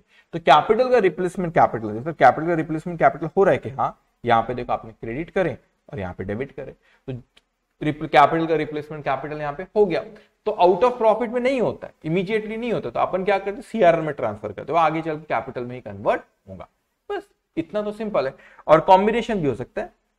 अपन देखेंगे आगे। कॉम्बिनेशन हो तो आपने देखना कि कैपिटल का रिप्लेसमेंट कैपिटल कितने से हो रहा है आउट ऑफ़ रेशियो ऑफ़ बचा हुआ पूरा का पूरा out of profit that should be transfer to CRR account face value सिर्फ़ तो वो आप सीआरआर में ट्रांसफ़र क्या करते हैं? फेस वैल्यू आप यहाँ पे कैपिटल का क्योंकि सेक्शन 68 क्या कह रहे हैं? कैपिटल का रिप्लेसमेंट कैपिटल का और कैपिटल में सिर्फ़ क्या जाती है? फेस वैल्यू जाता है। ओके अब ना मैं इसके क्वेश्चंस पे आता हूँ, मगर एक और चीज़ मैं आपसे कह दूँ। एक शेयर फिर डिफरेंशियल राइट से पहले बायबैक के क्वेश्चंस कर लेते, फिर शेयर्स फिर डिफरेंशियल राइट्स पे अपन जाते, ठीक है? एक और चीज़, एक ना कैलकुलेशन आता है कि इसकी कोई कंडीशंस होती है कि जब आप बायबैक करते हो ना, वो तीनों कंडीशन फुलफिल होना चाहिए ना? तो वो कंडीशंस क्या होगा? मैं भी आपको बोलूँगा तो आपने वैसे रिविजन लेक्चर्स आप देख रहे हो, लेकिन वो आपने उतने अच्छे से क्लिक नहीं कर पाएँगे। अगर मैं क्वेश्चन में फिगर्स रहेंगे तो वही मैं आपको एक्सप्लेन करूँगा। वो तीन कंडीशन है डेप्थ इक्विटी रेशियो वाला। और उसके बाद आप लोगों को है कि नंबर ऑफ़ शेयर्स आप कितने रहना चाहिए ना कितने आप मैक्सिमम कर सकते हो। फिर अमाउंट से रिलेटेड भी कि बाय बैक करते हो, कितना अमाउंट यू कैन यूटिलाइज तो वो एक तीन कंडीशन तो उसके बारे में अपन बात करेंगे। डोंट वरी अभी मैं क्वेश्चन सॉल्व करूँगा तो उसमें से एक क्वेश्चन पाएगा वहाँ पे मैं आपको एक्सप्लेन करूँगा। तो ये हमारा डिस्कशन है बायबैक से रिलेटेड अब उस पर अपन क्वेश्चन करते और उसके बाद फिर शेयर्स फिर डिफरेंशियल राइट्स पे अपन आएँगे। ओके सो अब आप यहाँ पे आ जाएँगे। क्वेश्चन नंबर वन पे। Come to question number one देखो, अब क्या कह रहा है क्वेश्चन नंबर वन आपसे? M limited furnish the following balance sheet as at thirty first March twenty twenty one तो उसने इकतीस मार्च की बैलेंस शीट दिया आपको। अब वहाँ पे उसने दिया आपको share capital then equity share equity liability shareholders fund share capital five thousand rupees in thousand है। ठीक है reserve and surplus note two six thousand three hundred and ten non-current liability long-term borrowing 400 current liability trade payable 40 then assets non-current asset property plant and equipment 2750 non-current investment 5000 current asset inventories 1000 trade receivable 2000 cash and cash equivalent 1000 now notes to account. Share capital. Authorized issued and subscribed capital. 3 lakh equity share of rupees 10 each fully paid up 3000 twenty thousand nine percent preferential of rupees hundred is two thousand फिर ये आपकी note one की total पाँच हज़ार। फिर reserve and surplus यहाँ पे उसने दिया हुआ है आपका। Capital reserve ten revenue reserve four thousand security premium five hundred then profit and loss account thousand eight hundred फिर उसके बाद है आपका long term borrowing that is ten percent debenture four hundred है वो। Property plan and equipment PP cost है three thousand provision for depreciation two fifty net carrying amount 2750 the company pass a resolution to buy back 20% percent of its twenty percent of its equity capital at rupees fifteen per share for this purpose its sold its investment of rupees thirty lakh for rupees twenty five lakh you are require to pass necessary general मतलब ध्यान से आप मेरी बात सुनेंगे देखो twenty percent share अपने equity share buy back करें पंद्रह रुपए में। पहली चीज़ इसमें ना तीन कंडीशन कोई होती है, अपन उसके बारे में आगे बात करें। तो वो अगर कंडीशन बोला कि कैलकुलेट करो कि within the criteria of company act में बायबैक हो रहा है कि नहीं हो रहा है तो फिर वो अपने को, वो क्राइटेरिया में हो रहा है कि नहीं हो रहा है, कुछ कैलकुलेशन करना पड़ेगा। वो बोला तो ही करना तो इसमें क्वेश्चन में डायरेक्ट बोला कि ट्वेंटी परसेंट बायबैक कर रहा है तो खत्म हो गई बात। तो वो अपने को बोल, अगर वो बोलता है कि विद इन द क्राइटेरिया है नहीं है तो फिर करना पड़ता था। तो अगर बोला तो करना। आगे क्वेश्चन में बोलेंगे तो मैं आपको तीन वो कंडीशन भी वहाँ पे एक्सप्लेन करूँगा। अब यहाँ पे क्या हो रहा है बच्चों? कि उसने बोला कि ट्वेंटी परसेंट बायबैक कर रहे हैं, पंद्रह रुपए में कर रहे बल्कि फेस वैल्यू वहाँ पे दस रुपए तो प्रीमियम ऑन बायबैक पाँच होगा। अब उसने यहाँ पे क्वेश्चन में कहीं पर भी ये नहीं बोला कि वो कोई, अब अब कैसे माना? सुनो, आपने यहाँ पर पढ़े इसको, ये सारी चीज़ें पढ़े पूरे क्वेश्चन उसने ये नहीं बोला कि वो आउट ऑफ़ प्रॉफिट कर रहा है क्वेश्चन में नहीं बोला उसने। उसने क्या क्वेश्चन में अपने को ये बोला कि कुछ शेयर्स उसने बेचा? द आंसर इज़ नो तो शेयर्स उसने बेचा, ऐसा कहीं पर भी नहीं बोला क्वेश्चन में। तो ये out of ratio of shares नहीं है। Out of fresh issue of share हमको जब ही मानना रहेगा, जब क्वेश्चन में उसने हमको स्पेसिफिकली बोला क्वेश्चन में उसने अपने को स्पेसिफिकली बोला कि इतने शेयर्स मार्केट में इशू है then only will say out of fresh issue of share otherwise नहीं। तो क्वेश्चन ने बोला कि कुछ शेयर्स मार्केट में इशू करा? नहीं, ऐसा कुछ भी बोला नहीं। तो जब उसने क्वेश्चन में बोला नहीं है आपको कि out of fresh issue of shares है तो हम इसको आउट ऑफ़ प्रॉफिट ही मानेंगे। और एक चीज़ अपने दिमाग में बैठा लो। आउट ऑफ़ यहाँ पे इस क्वेश्चन में जब बायबैक आप करते हो तो रिस्ट्रिक्शन फंड से रिलेटेड नहीं है बेटे। बहुत लोग इसको गलत इंटरप्रेट करते कि फ्रेश इशू ऑफ़ शेयर से जो पैसा है वो यूटिलाइज करो आउट ऑफ़ प्रॉफिट में आया तो कंपनी के पास जो कैश रखी हुई है तो उसी को यूटिलाइज करो। नहीं रिस्ट्रिक्शन फंड कहाँ से दे रहे उससे रिलेटेड नहीं है। कैपिटल का रिप्लेसमेंट कैपिटल होना चाहिए। अब जैसे इस क्वेश्चन में उसने बोला कि कोई इन्वेस्टमेंट को बेचे जो कि 30 लाख का था 25 लाख रुपए में उसने बेचा। अब 30 लाख के इन्वेस्टमेंट को 25 लाख में उसने बेचा। तो ये तो इन्वेस्टमेंट बेच के फंड ला रहा है है ना? तो क्या कोई रिस्ट्रिक्शन है कि फंड कहाँ से रहा है? रिस्ट्रिक्शन नहीं है। कोई रिस्ट्रिक्शन फंड से रिलेटेड नहीं है। फंड कहीं से भी आए, उससे कोई रिस्ट्रिक्शन पैसा कहीं से भी आए और जो बायबैक के बग दे रहे उससे कोई मतलब नहीं है अपने को। कैपिटल का रिप्लेसमेंट कैपिटल होना चाहिए। वैसे अब जैसे यहाँ पे इस क्वेश्चन में कहीं पर भी फ्रेश इशू ऑफ़ शेयर्स नहीं है तो will call it out of profit है। तो जब फ्रेश इशू ऑफ़ शेयर्स बोला जब भी उसको अपने को फ्रेश इशू शेयर माना अदरवाइज़ इसको हम लोग आउट ऑफ़ प्रॉफिट ही मानेंगे। इस चीज़ को आप ध्यान में रखें। अब आउट ऑफ़ प्रॉफिट है यहाँ पे क्वेश्चन में। फंड का कोई दिक्कत नहीं, जो कहीं से भी आए। आउट ऑफ़ प्रॉफिट है तो क्या करना पड़ेगा? तो जो भी जो भी आप इक्विटी शेयर बायबैक करो उसकी जो भी फेस वैल्यू होगी, उतने अमाउंट अपने को फ्री रिज़र्व से उठा के सीआरआर अकाउंट में लेके जाना रहेगा। सिंपल सी चीज़ है। ओके तो इस चीज़ को अपने को ख्याल रखना है। तो पहले अपन यहाँ पे आते इन्वेस्टमेंट उसने बेचा। जो कि 30 लाख के, वो कहता है कि उसने 25 लाख में बेचा। तो यहाँ पे रुपीज़ इन थाउज़ेंड है, ख्याल रखना। तो क्वेश्चन में रुपीज़ इन थाउज़ेंड दिया, यहाँ नीचे लैक्स लिखा हुआ है। लेकिन आंसर में फिर रुपीज़ इन थाउज़ेंड में ले रहे क्योंकि balance sheet rupees in thousand में दी हुई so bank account debit twenty five lakh अभी रुपीज़ इन थाउज़ेंड इसलिए टू थाउज़ेंड फाइव हंड्रेड लिखा हुआ ठीक है? सो बैंक अकाउंट डेबिट अब उसने तीस की चीज़ पच्चीस में बेचा तो पाँच का नुकसान हुआ अपने को। So profit and loss account debit five hundred you can say loss sale of investment five hundred and the balance of loss on sale of investment will go to P and L account. So then you will pass entry profit and loss account debit to uh, loss on sale of investment. Okay. So to investment account आपके पास से investment गए आपने sale of investment की entry pass की अब आपने buyback entry पास कर बेटा आप 20 परसेंट बायबैक करो तो इक्विटी शेयर कैपिटल है कितने अपने पास तीन हज़ार है ठीक है तो तीन हज़ार का ट्वेंटी परसेंट कितना होता है छह सौ तो देखो यहाँ पे equity share capital account debit तो तीन हज़ार टोटल कैपिटल है, उसका ट्वेंटी परसेंट बायबैक कर रहे तो ये आया छह सौ। प्रीमियम ऑन बायबैक अब प्रीमियम ऑन बायबैक में आप देखो तो वो कितना बोले कि दस रुपए का, पंद्रह रुपए में करे शेयर कितने का आपका? दस रुपए का मतलब पाँच रुपए प्रीमियम है। तो नंबर ऑफ़ शेयर बायबैक कितने कर रहा है? बायबैक जो आपके कर रहे हैं total number of share question में उसने दिया है यहाँ पे, तीन लाख। तो तीन लाख शेयर से तीन लाख शेयर से और उसमें पाँच, उसका आप जो बायबैक आपको तीन लाख शेयर है उसके ट्वेंटी परसेंट वो बायबैक कर रहे हैं जिस वन थ्री लाख शेयर से ट्वेंटी परसेंट वो बायबैक कर रहे हैं। तो वो आया आपका तीन लाख का twenty percent sixty thousand share पाँच रुपए प्रीमियम है।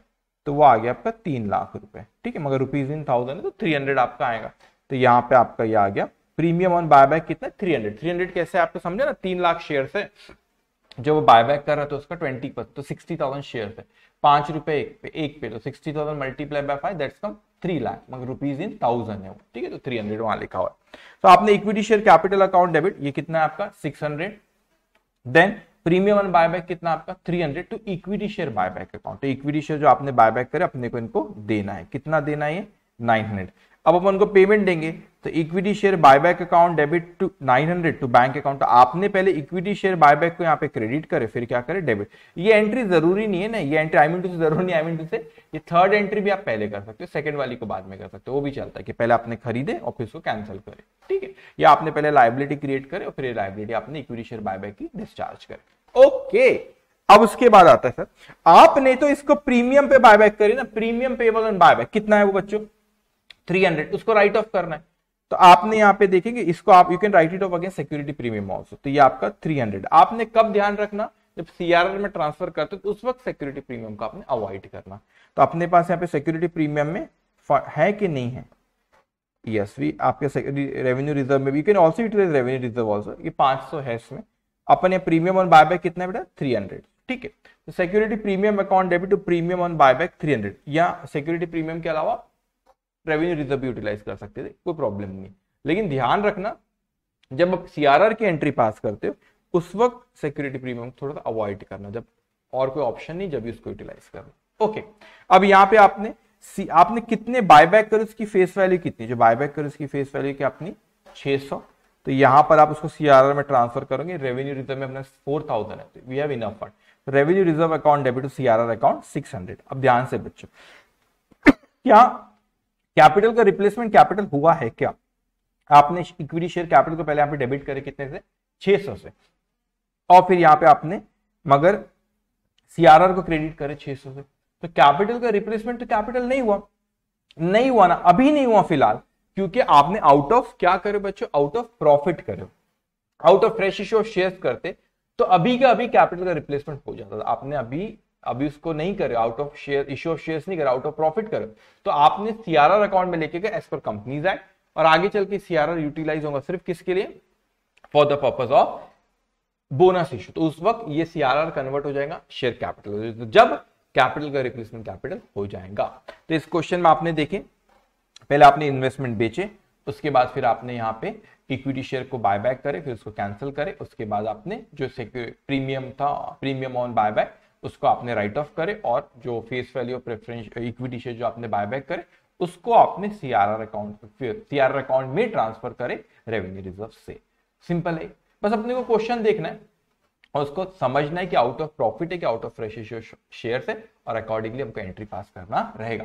डोंट वरी कि वो जो कैलकुलेशन आता है ना, उसमें जो तीन क्राइटेरिया फुलफिल होना चाहिए, उसके बारे में अभी मैं आगे बात करूँगा क्वेश्चन पे वो आएगा। Okay question number two alpha limited furnish the following summarise balance sheet as at thirty first March twenty seventy equity and liabilities shareholders fund याद रखें रुपीज इन लैक्स है Now equity share capital fully paid up share of rupees 10 each 2400 reserve and surplus securities premium 350 general reserve 530 capital redemption reserve 400 profit and loss account 340 non-current liabilities 12% debentures 1500 current liability trade payables 1490 other current liabilities 390 asset non-current asset fixed asset 4052 current asset uh, current investment 148 inventories 1200 trade receivable 520 cash and bank 1480 now on 1st of april 2017 the company announced its buyback of 25 percent. 25 percent of equity shares at rupees 15 per share for this purpose. It sold all its investment for rupees 150 lakhs on 10th of april 2017 the company achieved the target of buyback. अब इसको समझना अच्छे से। अभी देखेंगे मैं next question में आएगा कि अगर वो टारगेट अचीव कर लिए कंपनी ने यहाँ पे लिखा हुआ। मगर कभी ऐसा बोलता है कि आप कैलकुलेट करो आप, किस चीज़ को कैलकुलेट करो कि क्या ये जो बायबैक है, वो प्रोविज़न ऑफ़ कंपनी एक्ट के दायरे में है कि नहीं? फिर वॉट डू उसके दायरे में है कि नहीं? ऐसे तीन क्राइटेरिया वो फुलफिल होना चाहिए। उसके बारे में अपन नेक्स्ट क्वेश्चन में डिस्कस करने वाले। तो उसने जब आपको कहा, जब भी अपने को करना रहेगा। On thirty of April 2017 the company issue one fully paid up equity share of rupees ten each by way of bonus for every four equity shares held by the equity share by capitalisation of capital redemption reserve अब इस question में क्या हो गया? यहाँ पे उसने bonus share कब दिया गया उन लोगों ने बोनस शेयर भी दिए। लेकिन बोनस शेयर कब दे रहे था तीस अप्रैल को। तो डेट थोड़ी सी ध्यान रखें। फ़र्स्ट अप्रैल को बाय बैक हो रहा है। यहाँ पे उन्हें 10 अप्रैल को टारगेट अचीव कर करते मतलब उस तारीख को पेमेंट कर रहे आप शेयर कैपिटल को आप कैंसिल कर दे रहे हो। लेकिन आप लोगों ने एक्चुअल में 30 अप्रैल को फिर क्या करे? बोनस शेयर लेकिन कुछ शेयर 25 परसेंट तो बायबैक हो गए एक अप्रैल को। तो 30 अप्रैल को तो है ही नहीं तो उस पर बोनस शेयर अपन नहीं देंगे। वो कहता है you are required to pass necessary journal entries and prepare the balance sheet of Alpha Limited after bonus issue अब वो कहता है कि आप बैलेंस आपको जर्नल एंट्रीज पास करना, साथ के बैलेंस शीट भी बनाना। तो पिछले क्वेश्चन में बैलेंस शीट नहीं थी, इस क्वेश्चन में बैलेंस शीट भी है। तो पहले हम लोग एंट्रीज पास करते अच्छा क्या ये out of fresh issue of share है क्या आउट ऑफ़ प्रॉफिट है? आउट ऑफ़ प्रॉफिट है। क्योंकि कहीं पर भी उसने क्वेश्चन में ये नहीं कहा कि उसने शेयर इश्यू किया। कहीं बोला उसने शेयर इश्यू किया। जब उसने कहा कि शेयर इश्यू कहा कहा शेयर इश्यू करा, जब भी उसको मानेंगे कि वो out of fresh issue of share है अदरवाइज़ वो आउट ऑफ़ प्रॉफिट ही रहेगा। सो जर्नल एंट्री सबसे पहले इन्वेस्टमेंट उन्होंने यहाँ पे रुपीज़ इन लैक्स है वन फिफ्टी लैक्स में इन्वेस्टमेंट बेचे। एक्चुअल में अगर आप देखो तो इन्वेस्टमेंट थे कितने के? 148 के। सो so, 148 के इन्वेस्टमेंट को 150 में बेचे। तो कितने में ज़्यादा में बेचे? टू लैक्स में ज़्यादा में बेचे तो वो प्रॉफिट हो गया। So bank account debit 150 lakhs to investment account 148 to profit on sale of investment 2 lakhs we know that profit on sale of investment we transfer to profit and loss account okay अब उसके बाद आपने shares buyback करे। कितने करे? 25 percent अब 25 percent अपने को। तो 25 परसेंट तो यहाँ पर आपके शेयर्स है कितने? शेयर कैपिटल अगर देखो 2400 तो 2400 का 25 परसेंट छह होगा। ठीक है? 600 तो आपका 25 परसेंट शेयर कैपिटल कम हो रहा है। तो इक्विटी शेयर कैपिटल अकाउंट 600 ये कैसे आया? 2400 का 25 percent now premium on buyback अब उसने पंद्रह रुपए में शेयर बायबैक करा। दस रुपए का है ना पंद्रह रुपए में कर रहा है। मतलब पाँच रुपए प्रीमियम दे रहा है वो। सो so, यहाँ पे नंबर ऑफ़ शेयर्स कितने हैं आपके? नंबर ऑफ़ शेयर्स अगर आप यहाँ पे देखोगे ये तो आप नंबर ऑफ़ शेयर्स यहाँ पे ये तो आप इसको ले लो। 2400 डिवाइडेड बाय 10 तो 240 लैक्स शेयर है ठीक है? आप मल्टीप्लाई बाय 25 परसेंट बायबैक करो 60 multiply by 5 premium that's come 300 तो कैसे किया मैंने देखो ये अमाउंट 2400 है। रुपीज़ हर चीज़ लैक्स में। दस रुपए का एक शेयर तो नंबर ऑफ़ शेयर हो गए कितने? 240 60 आप ट्वेंटी फाइव परसेंट बायबैक कर रहे हो तो इसका twenty five percent sixty lakhs ये सॉरी ये अमाउंट नहीं है, ये नंबर ऑफ़ शेयर है two forty twenty five percent buyback कर रहे हो तो वो आ रहा है आपका सिक्सटी अब सिक्सटी प्रीमियम कितना है? पाँच रुपए. क्योंकि आप कितने पे बायबैक करो पंद्रह रुपए पे बाय बायबैक करो शेयर दस रुपए का मतलब पाँच रुपए प्रीमियम समझो कैसे कैलकुलेशन हुआ? दो हज़ार चार सौ टोटल है अमाउंट दस रुपए का है मतलब दो टू फोर्टी लैक्स शेयर है। ट्वेंटी फाइव परसेंट बायबैक करे मतलब सिक्सटी लैख बायबैक करे। पाँच रुपए एक पे प्रीमियम तो वहाँ है three hundred lakhs okay so equity share buyback account अब आपने इक्विटी शेयर बायबैक यहाँ पे क्रेडिट करके लाइबिलिटी क्रिएट करे। अब उसके बाद उसको अपन कैंसिल करेंगे तो equity share buyback account debit to bank account नौ सौ आपने दिए। अब जो ये प्रीमियम ऑन बायबैक है, इस प्रीमियम ऑन बायबैक को अपने को क्या करना रहेगा? राइट ऑफ़ करना रहेगा। तो क्या अपने पास बैलेंस है? 300 का सिक्योरिटी प्रीमियम तो आप देखें हाँ 350 का बैलेंस है। तब सिक्योरिटी प्रीमियम से राइट ऑफ़ कर लो, फिर आप जनरल रिज़र्व से भी उसको कर सकते हैं, ओके? सो यहाँ पे security premium account debit to premium on buyback वो राइट ऑफ़ करे तो वो प्रीमियम ऑन बायबैक क्या हो गया बच्चों? कैंसल। वी नो दैट कि अब हमने जो प्रेफरेंशियस रिडीम करे सॉरी प्रेफरेंशियस जो इक्विटी शेयर बायबैक करे, उसकी जो फेस वैल्यू वो हमको सीआरआर में ट्रांसफ़र करना पड़ेगा क्योंकि आउट ऑफ़ फ्रेश शेयर नहीं आउट ऑफ़ प्रॉफिट है। तो आउट ऑफ़ प्रॉफिट सीआर में ट्रांसफ़र करना और यही प्रेफर करना कि general reserve P N account को उसके लिए यूटिलाइज करें। लेकिन कितना ट्रांसफ़र करते हैं? फेस वैल्यू तो आपने यहाँ पे कितने बायबैक जो कर, उसकी फेस वैल्यू कितनी? 600 तो ये हो गया आपका 600 ओके ये हो गया आपका 600 अब इसमें देखेंगे 600 हो गया। अब आपका जनरल रिज़र्व 600 देखते हैं अपन यहाँ पे किसमें जनरल रिज़र्व में 530 है तो 530 पूरा यूटिलाइज कर लेते और पीएनएल का बैलेंस अपन 70 यूटिलाइज कर लेंगे। तो यहाँ पे वही क्यों ना? और it can be any combination you can say that कि पीएनएल अकाउंट का 340 यूटिलाइज करो, बचा हुआ general reserve that is also correct okay so general reserve account debit 530 PNL account debit 70 to CRR account अब आपने सीआरआर अकाउंट यहाँ पे create करे। अब वो बोलता है कि 30 अप्रैल को उसने बोनस शेयर्स इशू किया। मगर बोनस शेयर्स कितने? चार पे एक। अब समझना इस नंबर ऑफ़ शेयर्स हमारे पास कितने थे? 240 लैक्स उसमें से आपने बायबैक कर लिए कितने? 60 60 बायबैक कर तो बचे कितना? 180 चार पे एक तो 180 डिवाइड बाय फोर तो कितना आ रहा है आपका? 45 लाख बोनस शेयर्स आपने इशू कर। समझा कैलकुलेशन 240 लाख शेयर्स थे, आपने बायबैक 60 करे तो बचा कितना? 180 180 अपन बाय जो अपन बोनस शेयर्स दे रहे, वो बायबैक के बाद दे रहे। बोनस शेयर्स कब दे रहे? अपन बायबैक के बाद दे रहे। तो बायबैक एक तारीख को आप बोनस शेयर्स कब दे रहे बेटा? तीस अप्रैल को। तो उस तारीख को कितने शेयर्स एग्जिस्ट करते थे? 180 so so, 180 divide by four चार पे एक तो वह 45 लाख सो आप बोनस शेयर्स के वी नो दैट कि हम किसको यूटिलाइज करते हैं? सीआरआर अकाउंट को। सो सीआरआर अकाउंट डेबिट देखो ये सीआरआर आपका 600 है। उसमें सीआरआर में बैलेंस अपना यहाँ पे 600 है और पहले भी एक सीआरआर है। ये देखो ये 400 भी पहले से रखा हुआ है। तो आज ही नहीं तो कल सीआरआर शेयर कैपिटल में ही कन्वर्ट होने वाला है। सो so, यहाँ पे capital redemption reserve account debit 450 एक ये बोनस की एंट्री है तो बस सीआरआर कम करेंगे और bonus to share holder liability create करे आपने फिर लाइबिलिटी आपने एंट्री पास करे। Capital redemption account debit to bonus share और you can say bonus to share holder और अभी लाइबिलिटी को डिस्चार्ज करेगी। So bonus to share holder account debit to equity share capital आपने बोनस शेयर दिए तो ये अकाउंट कैंसिल भी हो गया। बोनस टू शेयर होल्डर ये आपका अकाउंट कैंसिल भी हो गया यहाँ पे। जैसे यहाँ पे प्रीमियम ऑन बायबैक कैंसिल हो गया था। ओके जैसे यहाँ पे इक्विटी शेयर बायबैक कैंसिल हो गया था। ओके नाउ अब जो आपका प्रॉफिट जो आपको हुआ इन्वेस्टमेंट के बेचने में दो लाख का that will transfer to PNL account we know that कि पीएनएल के क्रेडिट में अपन इनकम लिखते प्रॉफिट वहाँ ट्रांसफ़र करते। So profit on sale of investment account debit to profit and loss account ये प्रॉफिट ऑन सेल भी क्लोज हो गया। पहले आपने वहाँ क्रेडिट किया, तब उसको क्या किया? डेबिट अभी बड़ी सिंपल सिंपल एंट्रीज थी। अब ख्याल रखना कि बैलेंस शीट आपको जब उसने पूछा तो हमेशा, ये आपने बहुत पढ़े होंगे इंटरनल रिकंस्ट्रक्शन चैप्टर में भी हाँ पढ़, देखेंगे, आगे भी आप देखोगे बेटे, कि एंट्री जब आप, जब कोई बैलेंस शीट बनाते हो तो एक एग्जिस्टिंग बैलेंस शीट अमल कमीशन में देखोगे बैलेंस शीट बनाने का। आपको एग्जिस्टिंग बैलेंस शीट दिए उसकी फिगर्स को कंसिडर करो और जो यहाँ पे आपको मैंने एंट्रीज पास किया उसका इफ़ेक्ट लेना रहेगा और जो भी इफ़ेक्ट आता है उसको अपने को बैलेंस शीट पे लिखना रहेगा। अब दूसरी इंपॉर्टेंट चीज़, अब इंपॉर्टेंट क्या ये बड़ी बेसिक चीज़ है जो आपको पता ही कि भाई एसेट के डेबिट बैलेंस होते डेबिट डेबिट प्लस होता है। लाइबिलिटी के और कैपिटल का क्रेडिट बैलेंस होता है क्रेडिट क्रेडिट प्लस होता है। जैसे एसेट के डेबिट बैलेंस डेबिट की तो प्लस करेंगे और क्रेडिट की तो माइनस होगा। लाइबिलिटी और कैपिटल की क्रेडिट बैलेंस होता तो उसको क्रेडिट की तो प्लस करेंगे डेबिट की तो माइनस इस चीज़ को ख्याल रखना। और वो एड और लेस कैलकुलेटर में करना और हमको बैलेंस शीट में लिखना रहेगा। अब जैसे यहाँ पे देखिए पहली, एक पहली फिगर से अपन शुरू करते हैं। इक्विटी शेयर कैपिटल कितना आपका? 2400 अब एंट्रीज में आओ यहाँ पे।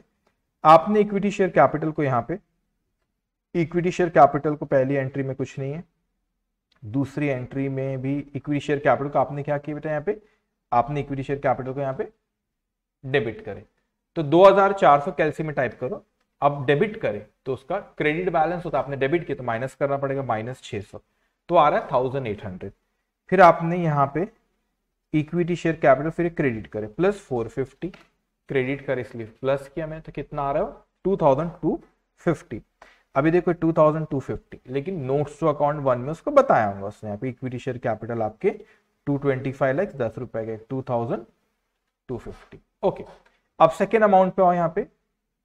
अब सेकेंड अमाउंट है आपकी सिक्योरिटी प्रीमियम थ्री फिफ्टी तो सिक्योरिटी प्रीमियम को अपन ने यहाँ पे डेबिट करे। तो three fifty minus minus three hundred तो ये आ गया फिफ्टी का बैलेंस ठीक है तो फिफ्टी आपके सिक्योरिटी प्रीमियम तो नोट्स टू अकाउंट टू में रिज़र्व एंड सरप्लस में आपका सिक्योरिटी प्रीमियम देखो three fifty minus three hundred ये आ गया आपका फिफ्टी उसके बाद यहाँ पे रिज़र्व में फाइव सिक्सटी आपने यहाँ पे एंट्री पे उसको डेबिट करे। नहीं सर कितना फाइव थर्टी आपने एंट्री में डेबिट करे फाइव थर्टी तो ज़ीरो हो गया। ओके तो यहाँ पर आपके zero five thirty minus five thirty outer column पे ज़ीरो ओके उसके बाद यहाँ पे कैपिटल रिडेम्पशन रिज़र्व कितना आपका? 400 फिर आपने कैपिटल रिडेम्पशन रिज़र्व यहाँ पे क्रेडिट भी करे थे 600 से। तो 400 प्लस 600 कितना हो गया? थाउज़ेंड फिर आपने यहाँ पे डेबिट करे थे 450 से। थाउज़ेंड माइनस फोर ये कितना हो गया? 550 का बैलेंस कैपिटल रिडेम्पशन रिज़र्व में देखो 400 था और फिर आपने 530 से वो किए थे और transfer due to buyback of from PNL ये क्या लेस यूटिलाइज फॉर सेवेंटी ये कैसा है?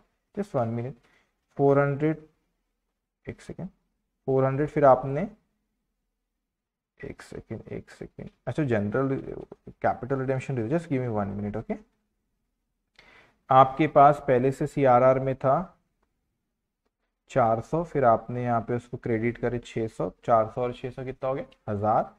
और फिर आपने यहाँ पे डेबिट करे 450 से 400 plus 600 minus minus four fifty तो outer column five fifty should come ना? यहाँ की तरफ़ फाइव फिफ्टी आ रहा है। ये कहाँ से आ गया? ट्रांसफ़र ड्यू टू बाय अच्छा अच्छा अच्छा अच्छा एक सेकेंड आपने सीआरआर में कुछ अलग अलग जगह से उसको ट्रांसफ़र करे, ठीक है? आपने सीआरआर में आपने, ठीक है, ये मतलब वो ये बता रहे फाइव थर्टी आपने जनरली सेवेंटी पीनस टोटल सिक्स हंड्रेड है, ठीक है? ये दोनों, ठीक है, ये आपका फोर हंड्रेड टोटल ये दोनों की सिक्स हंड्रेड है, ठीक है? और ये माइनस आपने जो फिर उसको यूटिलाइज करे बोनस के तो आउटर कॉलम पे आ गया आपका कितना? 550 और कुछ है reserve and surplus PNL three forty फिर आपने यहाँ पे यहाँ पर आपने 340 प्रॉफिट को ट्रांसफ़र कर 340 फोर्टी प्लस टू 342 और आपने यहाँ पे यूटिलाइज करे उसको कितना? 70 तो 342 माइनस 342 माइनस 70 तो ये आ रहा आपका 272 ये आउटर कॉलम पैकेज तो आपने टोटल ये सबके आप रिज़र्व एंड सरप्लस की टोटल करेंगे 872 आई उसको आप कहा लिखेंगे? बैलेंस शीट में 872 ओके अब उसके बाद वो आगे कहता है अपने से डिबेंचर्स कितने आपके? 12 percent debenture thousand five hundred उसमें कोई चेंज नहीं तो as it is thousand five hundred वो यहाँ पे रहेगा थाउज़ेंड फाइव हंड्रेड ओके उसके बाद ट्रेड पेबल में कोई चेंज नहीं one four nine zero current liability भी थ्री नाइनटी इसमें कोई चेंज नहीं तो वन फोर नाइन ज़ीरो और ये three ninety total fix asset में भी कुछ चेंज नहीं है। Fix asset as it is है फोर ज़ीरो फाइव टू तो और 150 इन्वेस्टमेंट कैंसिल हो इन्वेंट इन्वेंट्रीज भी 1200 वैसा ही है। 4052 ये इन्वेस्टमेंट खत्म हो गया इन्वेंट्रीज 1200 ट्रेड रिसीवेबल जो है उसमें भी कोई चेंज नहीं 520 अब ये बैंक की फिगर में चेंज आया। तो ट्रेड रिसीवेबल 520 अब बैंक की फिगर को ध्यान से बेटा बैंक की फिगर कैसे? कैलसी में टाइप करो 1480 1480 फिर यहाँ पे पैसा आया 150 प्लस 150 फिर यहाँ पे पैसा गया 900 माइनस 900 फिर यहाँ पे बस 730 आ रहा है, ये 730 तो ओके तो ये आपकी टोटल तो ये बस ख्याल रखना, बड़ा सिंपल रहता है। जब आप बैलेंस शीट बनाते हैं तो बेसिक रूल के एसेट के डेबिट बैलेंस होते debit debit plus debit credit minus liability और कैपिटल के क्रेडिट बैलेंस होते क्रेडिट क्रेडिट प्लस और क्रेडिट और डेबिट माइनस होता है। ओके? अब आते हैं क्वेश्चन नंबर थ्री पे। जो कि मुझे आपसे डिस्कस करना था। क्या डिस्कस करना था? वही जो क्राइटेरिया होता है ना कंपनी एक्ट का तीन पॉइंट वो अपन यहाँ बात करेंगे अभी। Following is summarise balance sheet of super limited as on thirty first March twenty share capital equity share offer P स्टैनिश fully paid 17 lakh reserve and surplus 25 reserve and surplus revenue reserve 23 lakh 50,000 security premium 2 lakh 50,000 profit and loss account 2 lakh infrastructure development reserve account 2 lakh. Infrastructure development reserve 1 lakh 50,000. Secured loan 9% debenture 22 lakh 50,000. Unsecured loan 8 lakh 50,000. Current maturity of long term borrowing 15 lakh 50,000. Fix asset tangible asset 58 lakh 50,000 current asset 34 lakh 50,000 अब देखो उसे current asset दिया है ना उसने तो उसने वहाँ पे बाइफरगेट नहीं किया कि उसमें तो इन्वेंट्रीज कितनी है बैंक कितनी तो सब वो करंट एसेट का एक हिस्सा है now super limited wants to buy back 35,000 equity share of rupees 10 is fully paid up on first of April 2018 at rupees 30 per share तो वो बायबैक करना चाहते हैं कितने शेयर्स पैंतीस हज़ार शेयर बायबैक करना चाहते हैं। दस रुपए का एक है दस रुपए की फेस वैल्यू तीस रुपए में करना चाहते हैं। Buyback of share its fully authorise by its article and necessary resolution have been pass by the company towards The payment for buyback share will be made by the company out of sufficient bank balance. Out of sufficient bank balance, it means out of profit हो दे रहे उनके पास कोई shares wears issue नहीं कर रहे। As a part of current asset obviously bank balance current asset का ही हिस्सा है। Now comment with calculation whether the buyback of shares by the company is within the provision of company act 2013 क्या company act के दायरे में ये buyback है? अब उसमें पूछ लिया बात। अब अपने को बताना पड़ेगा कि क्या ये बायबैक जो हो रहा है कंपनी एक्ट के दायरे में है क्या। सबको ये देखना पड़ेगा कि, कि जो हम लोग बायबैक कर रहे हैं कि कंपनी एक्ट के प्रोविज़न के हिसाब से तो कैलकुलेशन अपने पे डिस्कस करना पड़ेगा। और फिर देखते हैं कि थर्टी फाइव थाउज़ेंड वो सही है कि नहीं। अब ध्यान से बात मेरी बात सुनिए। तो तीन क्राइटेरिया तीनों क्राइटेरिया को एक एक करके मैं आपसे अभी डिस्कस करूँगा। ध्यान से बात मेरी बात सुनेगी बेटा। पहला determination of maximum number of share that can be bought back as per the companies act 2013 companies act 2013 अब ध्यान से पहला वाला पॉइंट पहली वाली टेस्ट को अपन के हम लोग कहते थे क्या? रिसोर्स टेस्ट अब ये क्या कहता है अपने से? ये कहते हैं कि maximum permitted limit is 25 percent of equity paid up capital and free up वो कहता है कि मैक्सिमम जो आप बायबैक कर सकते हो, वो है 25 प्रतिशत किसका? Equity paid up capital of free reserve का। लेकिन ख्याल रखना इस चैप्टर में जब भी मैं आपको फ्री रिज़र्व कहता हूँ तो फ्री रिज़र्व जब भी मैं आपसे कहता हूँ तो फ्री रिज़र्व का मतलब क्या होता है? इंक्लूडिंग सिक्योरिटी प्रीमियम इस चैप्टर की शुरुआत में मैंने आपको बताया था। अब यहाँ पे वो कहता है कि मैक्सिमम अमाउंट अपन कितना यूटिलाइज कर सकते बेटा? 25 percent of paid up capital and free reserve अब इस क्वेश्चन में देखता हूँ मैं तो यहाँ पे इक्विटी पेड अप कैपिटल है सत्रह लाख रुपए और फ्री रिज़र्व हो गया आपका रेवेन्यू रिज़र्व आपका इंक्लूडिंग सिक्योरिटी प्रीमियम और a profit and loss account अब इंफ्रास्ट्रक्चर डेवलपमेंट रिज़र्व जो है आप एक सेकेंड वो अगर कहता हमको ये फ्री रिज़र्व कहीं क्वेश्चन में बोला नहीं, अगर वो कहता कि infrastructure development reserve free reserve अब फ्री रिज़र्व नहीं है डेवलपमेंट के लिए आपने रिज़र्व बना के रखे तो फ्री रिज़र्व नहीं तो उसको यूटिलाइज नहीं करेगी। तो आपने यहाँ पे लिखे, ये paid up capital seventeen lakh ठीक है? उसके बाद ये twenty three lakh fifty thousand plus two lakh fifty plus two lakh तो twenty three lakh fifty thousand plus two lakh fifty plus two lakh तो ये हो गया आपका free reserve including security premium तो ये टोटल हो गया आपका अमाउंट दोनों का इक्विटी पेड अप कैपिटल और फ्री रिज़र्व इसका आप 25 परसेंट कर सकते हो तो 45 लाख का 25 परसेंट वो हो रहा है आपका कितना? 11 लाख 25,000 11 लाख 25,000 तो ग्यारह लाख पच्चीस हज़ार मैक्सिमम इतना अमाउंट हम लोग यूटिलाइज कर सकते हैं किसके लिए बच्चों? बायबैक के लिए। अब जल्दी जल्दी बताओ कि 25 प्रतिशत जो आ रहा है 45 लाख का 11 लाख पच्चीस हज़ार, उतना अमाउंट हम लोग बायबैक के लिए यूटिलाइज कर सकते लेकिन अब मैं आपसे कहता हूँ कि चलो कॉमन प्लेटफॉर्म पे लाते कि कितने शेयर हम उससे कर सकते तो मैंने कहा कि 11 लाख पच्चीस हज़ार रुपए में यूटिलाइज कर सकते हो बायबैक के हिसाब से मैक्सिमम पहले क्राइटेरिया के हिसाब से। एक बायबैक करने पे मैं कितना यूटिलाइज कर रहा हूँ? तीस रुपए आपने बोले, सर, कैसे तीस रुपए? ये पढ़ो यहाँ पे। वो दस रुपए का बायबैक थर्टी रुपीज़ में करो। तो एक शेयर को एक शेयर को बायबैक करने पे आप कितना यूटिलाइज करो? तीस रुपए आप यूटिलाइज करो। एक शेयर के बायबैक कितना करे? तीस रुपए।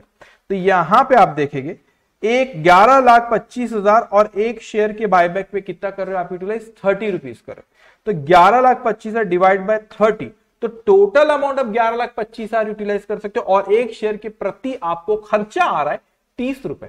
तो आप नंबर ऑफ़ शेयर्स को डिवाइड करोगे नंबर ऑफ़ शेयर्स आपके आ जाते thirty seven thousand five hundred इसका मतलब बच्चों मैं पहली कंडीशन के हिसाब से thirty seven thousand five hundred share को बायबैक कर सकता हूँ। मैंने क्या कहा? मैं पहली कंडीशन के हिसाब से 37,500 शेयर्स बायबैक कर सकता हूँ। मैं कितने करना चाहता हूँ? हमने क्वेश्चन पढ़े तो मैं कितने करना चाहता हूँ? 35,000 अरे वाह ये 35,000 शेयर 37,500 शेयर से कम है। मैंने कहा ये 35,000 शेयर ये 37,500 शेयर से कम है। तो कोई दिक्कत की बात नहीं है। लेकिन एक ही कंडीशन नहीं ऐसी तीन क्राइटेरिया वो हमको देखना है। तो पहले में तो कोई दिक्कत नहीं बेटा। दूसरे में आते हैं। वो है आपकी share outstanding test what is this share outstanding test का मतलब क्या होता है बच्चों? मैंने कहा कि शेयर आउटस्टैंडिंग टेस्ट का मतलब होता है यहाँ पे, वो कहता है आपका कंपनी का कि नंबर ऑफ़ शेयर आउटस्टैंडिंग पहले कितने बेटा नंबर ऑफ़ शेयर आउटस्टैंडिंग अगर आप देखोगे कि ये अमाउंट है सत्रह लाख दस रुपए का एक मतलब एक लाख सत्तर हज़ार। तो नंबर ऑफ़ शेयर आउटस्टैंडिंग एक लाख सत्तर हज़ार। तो कंपनीज़ एक्ट कहता है कि आप 25 परसेंट जो शेयर आउटस्टैंडिंग उसका 25 परसेंट ही बायबैक कर सकते हो। तो मैंने कहा वन लाख सेवेंटी थाउज़ेंड का 25 परसेंट होता है, कितना हो रहा है? Forty two thousand five hundred तो इस कंडीशन के हिसाब से हम लोग forty two thousand five hundred कितना कर सकते? Forty two thousand five hundred share buyback कर सकते।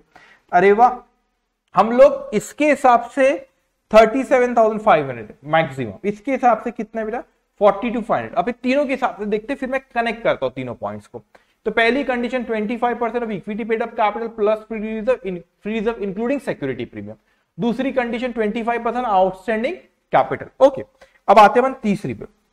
वो कहते हैं कि डेप्थ इक्विटी रेशियो आफ्टर बायबैक ये आफ्टर बायबैक डेप्थ कैन नॉट इन एक्सेस और twice the equity paid up capital and free reserve ध्यान से मेरी बात सुनना बेटा। अब वो कहता है कि बायबैक के बाद, ये थोड़ा सा इंटरेस्टिंग है, बच्चे कंफ्यूज भी हुए तो ध्यान से मेरी बात सुनना। बायबैक के बाद जो आपका डेप्थ है that should not be more than twice of equity paid up capital and free reserve मतलब वो कहता है बायबैक करे बाद जो भी आपका equity paid up capital free reserve था उसके डबल से ज़्यादा सपोज़ अगर इक्विटी पेड अप कैपिटल एक है तो आपका डेप्थ दो से ज़्यादा नहीं होना चाहिए। अगर equity paid up capital free after buyback suppose पचास है तो डेप्थ सौ से ज़्यादा नहीं होना चाहिए। तो अपन ये समझते पहले कि डेप्थ का मतलब क्या? तो डेप्थ का मतलब सारी चीज़ें इंक्लूडिंग करंट लाइबिलिटी तो अब यहाँ पे देखेंगे। डेप्थ में मैं जाता हूँ सबसे पहले। आपका डिबेंचर से twenty two lakh fifty thousand फिर twenty two lakh fifty thousand ठीक है? अदर और उसके बाद फिर अनसिक्योर्ड लोन आठ लाख पचास हज़ार current maturity of long term borrowing पंद्रह लाख पचास हज़ार। तो आठ लाख पचास, पंद्रह लाख पचास। तो including current liability including current liability ठीक है? अब ध्यान से बेटा। तो ये आ गया आपका डेप्थ वो आ रहा है forty six lakh fifty thousand अब ध्यान से मेरी बात समझना। इंस्टीट्यूट अपने सजेस्टेड में कैसे करती वो मैं पहले बताऊँ, लेकिन एक और तरीका जिससे आंसर निकलता है थर्ड वाला, जो क्राइटेरिया उसको ध्यान से समझना। मैंने कहा कि forty six lakh fifty thousand मेरा डेप्थ है। अब बायबैक के बाद डेप्थ तो एज इट इज़ रहेगा इक्विटी पेड अप कैपिटल जो है आपका, वो चेंज हो जाएगा बायबैक के बाद वो कम होगा। मगर मेरा जो भी equity paid up capital free forty six lakh fifty thousand का फिफ्टी परसेंट मैं लेता हूँ। वो आता है twenty three lakh fifty thousand मेरा equity paid up capital plus free reserve जो है बेटा, वो तेवीस लाख पचास हज़ार से कम नहीं होना चाहिए। आप बोले, सर, समझा नहीं आपने क्या कहा मैंने कहा, यहाँ पे कि आपका डेप्थ कितना है? Forty six lakh fifty depth कितना है बच्चों? 46 लाख फिफ्टी थाउज़ेंड। सो आपका डेप्थ है 46 लाख फिफ्टी थाउज़ेंड। तो 46 लाख फिफ्टी थाउज़ेंड अपना डेप्थ है और उसका 50 परसेंट मैं लू तो वो आता है तेईस लाख पचास हज़ार। नहीं, तेईस लाख पच्चीस हज़ार नॉट पचास सॉरी तेईस लाख पच्चीस हज़ार सॉरी तो इसका मतलब मेरा जो इक्विटी और फ्री रिज़र्व बायबैक के बाद रहेगा, वो तेईस लाख पच्चीस हज़ार कम से कम होना। उससे नीचे नहीं गिरना चाहिए अब सर ऐसा क्यों कह रहे हो कि आपने डेप्थ का 50 परसेंट ले लिए? और आप कह रहे हो कि इक्विटी और फ्री रिज़र्व बायबैक के बाद वो तेईस लाख पच्चीस हज़ार होना चाहिए ऐसा क्यों कह रहे हो? क्यों? क्योंकि अगर ये तेईस लाख पच्चीस हज़ार से कम होता है, मैंने क्या कहा? अगर ये तेईस लाख पच्चीस हज़ार से कम अगर होता है फॉर एग्ज़ाम्पल ये तेईस लाख पच्चीस हज़ार से कम नहीं होना चाहिए अपना। इक्विटी और फ्रीजर आफ्टर बायबैक फॉर एग्ज़ाम्पल अपन कम करके देखते फॉर एग्ज़ाम्पल तेईस लाख लेते तेईस लाख का डबल करो, कितना होता है? फोर्टी सिक्स लाख लेकिन डेप्थ तो फोर्टी सिक्स लाख से ज़्यादा है तो वो नहीं होना चाहिए बेटा।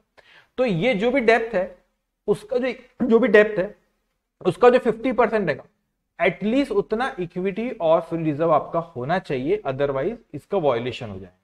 ठीक है? तो इसीलिए यहाँ पे minimum paid up capital free reserve to be maintain after buyback 50 percent of dept that's come 23 lakh 25,000 अब अपना आज की आज आप बोलते हैं कि बायबैक के बाद मेरा इक्विटी और फ्री रिज़र्व तेईस लाख पच्चीस हज़ार से नीचे नहीं जाना चाहिए मिनिमम इतना रहना चाहिए। नीचे चले गया तो क्या? मैंने आपको बताया, करके देखो, तेईस लाख पच्चीस को अपन तेईस लाख लेते तेईस लाख का फिर डबल करो फोर्टी सिक्स लाख होता ना तो फिर तो फोर्टी सिक्स लाख से ज़्यादा है ना आपका डेप्थ डेप्थ है आपका forty six lakh fifty thousand तो वॉयलेशन हो जाएगा, इसलिए उससे कम होना नहीं चाहिए बेटा। ओके अब यहाँ पे, अब यहाँ पे, अब आपका अभी इक्विटी आपका कितना? और फ्री रिज़र्व तो अपने वैसे ऊपर कैलकुलेट करे थे यहाँ पे forty five lakh free reserve including security premium तो ये फोर्टी फाइव लाख आया। तो मैं कहता हूँ कि अभी मेरा इक्विटी मेरा कितना है बच्चों? इक्विटी अभी कितना है आपका? 45 लाख और फ्रीज अपन ऊपर कैलकुलेट करें 45 लाख ये 45 लाख से एक तरीका इसका है 45 लाख से ये गिर के 23 लाख 25,000 पे मैक्सिमम आ सकता है उससे नीचे नहीं गिरना चाहिए। ये existing paid up capital of reserve है और ये आफ्टर बायबैक आपका इससे नीचे नहीं आना चाहिए। 23 लाख 25,000 से नीचे नहीं आना चाहिए। क्यों? अगर आ गया फॉर एग्ज़ाम्पल तेईस लाख आ गया एग्ज़ाम्पल कहता हूँ। तेईस लाख आ गया बेटे। तो तेईस लाख आ गया तो उसका डबल करो तो होता फोर्टी सिक्स लाख लेकिन आपका डेप्थ फोर्टी सिक्स लाख से ज़्यादा होगा तो वॉलेशन हो जाएगा। वो नहीं होना चाहिए। इसीलिए मैं कह रहा हूँ कि डेप्थ का पहले फिफ्टी परसेंट लिए बेटा। और एग्जिस्टिंग आपने देखिए फोर्टी फाइव लाख से और उससे गिर के twenty three lakh twenty five पे आ सकता है, इससे नीचे नहीं। अब दिक्कत है, थोड़ा सा कैलकुलेशन को समझना, फिर मैं आसान करके भी कैलकुलेशन बताऊँ। मैंने कहा कि मेरे पास एग्जिस्टिंग कितना है बेटे? 45 लाख मेरे पास existing equity paid up capital of reserve कितना है? 45 लाख मैं कहता हूँ कि मुझे कुछ ये एक्स जो है ना, ये उसमें सपोज़ एक्स सीआरआर में भी अपने को ट्रांसफ़र करना है, वो एक्स है। तो ये एक्स अमाउंट है ट्रांसफ़र टू सीआरआर और सीआरआर एक फ्री रिज़र्व नहीं है नॉट ए फ्री रिज़र्व तो मैंने कहा कि मेरे पास 45 lakh equity paid up capital of reserve अभी है। कितना है बच्चों? ध्यान से 45 लाख।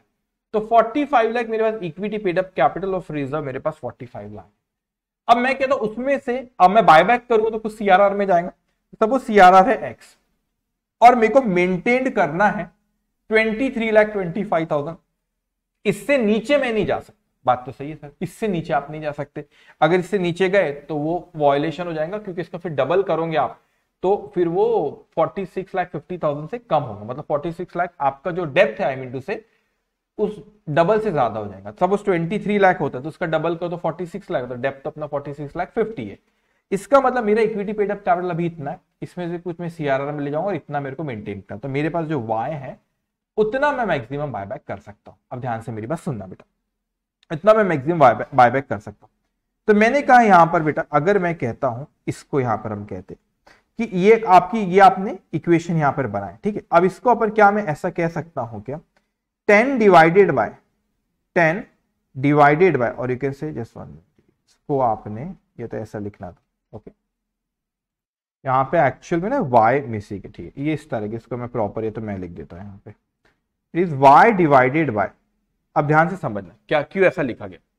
अब वाई क्या चीज़ है बेटा? वाई का क्या? आप उतना मैक्सिमम यूटिलाइज कर सकते for the purpose of buyback तो आप बायबैक कितने पे कर रहे हो? ये है आपकी बायबैक प्राइस ये क्या चीज़ है आपकी? बायबैक प्राइस ये बायबैक प्राइस और ये एक्स ये आपकी बायबैक प्राइस है बेटा। और जो आपका यहाँ पे ये टेन है। इस ये किसको रिप्रेजेंट कर रहा है? टेन आपका। ये आपकी फेस वैल्यू ऑफ़ शेयर तो मैं कहता हूँ मैक्सिमम ध्यान से प्लीज़ को समझना। वाई क्या रिप्रेजेंट कर कि मैक्सिमम आप कितना बायबैक कर सकते हो? इसका अमाउंट थर्टी रुपीज़ का एक। तो नंबर ऑफ़ शेयर आ जाएँगे जो आप बायबैक करो वाई क्या रिप्रेजेंट कर रहा है? Y maximum permitted buyback of equity share is Y तो Y divide by thirty thirty rupees में बायबैक कर रहे हो ना? तो आगे आपके नंबर ऑफ़ शेयर जो बायबैक कर मल्टीप्लाई बाय टेन करोगे फेस वैल्यू से।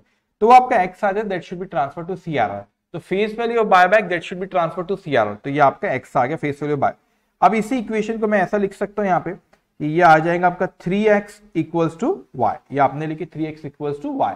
अब ये three X equals to Y को आप यहाँ पे पुट करो तो आप यहाँ पर अगर मैं Y equals to three X तो ये Y equals to three X आप करते हो तो इक्वेशन को सॉल्व करोगे अगर आप। तो forty forty five lakhs minus twenty three lakh twenty five thousand और यहाँ पे आपके three X three X divide by ये आ जाएगा आपका four X divide by four five lakh forty three thousand seven fifty अब आपने क्या करे? ये y की जगह आपने थ्री एक्स लिखे। वो इक्वेशन बस बनाए, ठीक है? इसका मतलब मेरे पास y आ गया। y क्या हो गया? जो मेरे को सीआरआर में ट्रांसफ़र करना है। और ये क्या हो गया बेटा आपका? ये अमाउंट जो आप बायबैक के लिए यूज़ कर सकते हो। तो मेरे पास थे, अब इसको समझना। मेरे पास थे 45 lakh total equity of reserve उसमें से सीआरआर के लिए मैं यूटिलाइज करूँगा five lakh forty three thousand seven fifty ये सीआरआर के लिए। मुझे मेंटेन करना है twenty three lakh twenty five thousand और बचा हुआ बायबैक के लिए यूटिलाइज कर लेंगे forty five lakhs minus five lakh forty three thousand seven fifty minus twenty three lakh twenty five thousand तो ये रहा आपका sixteen lakh thirty one thousand two fifty तो अब क्या हुआ? ये आपके पास था forty five lakhs total equity और आपका फ्रीजम एक्स जो सीआरआर में ट्रांसफ़र करेंगे, आपने कैलकुलेट कर इक्वेशन से। और 23 लाख 25 मेंटेन कर तो बचा हुआ आप यूटिलिटी ये वाई आपका है 16 लाख 31,250 अब यहाँ पे आपका 16 लाख 31,250 आप यूटिलाइज कर सकते हो ठीक है? सब आपने यहाँ पे देखे कि 16 lakh 31,250 16 lakh 31,250 divided by 16 lakh 31,250 divided by 30 rupees का एक। तो डिवाइडेड बाय थर्टी रुपीज़ आप एक शेयर पे दे रहे बाय बैक के वक्त। तो ये आ गया fifty four thousand three hundred and fifty four thousand three hundred and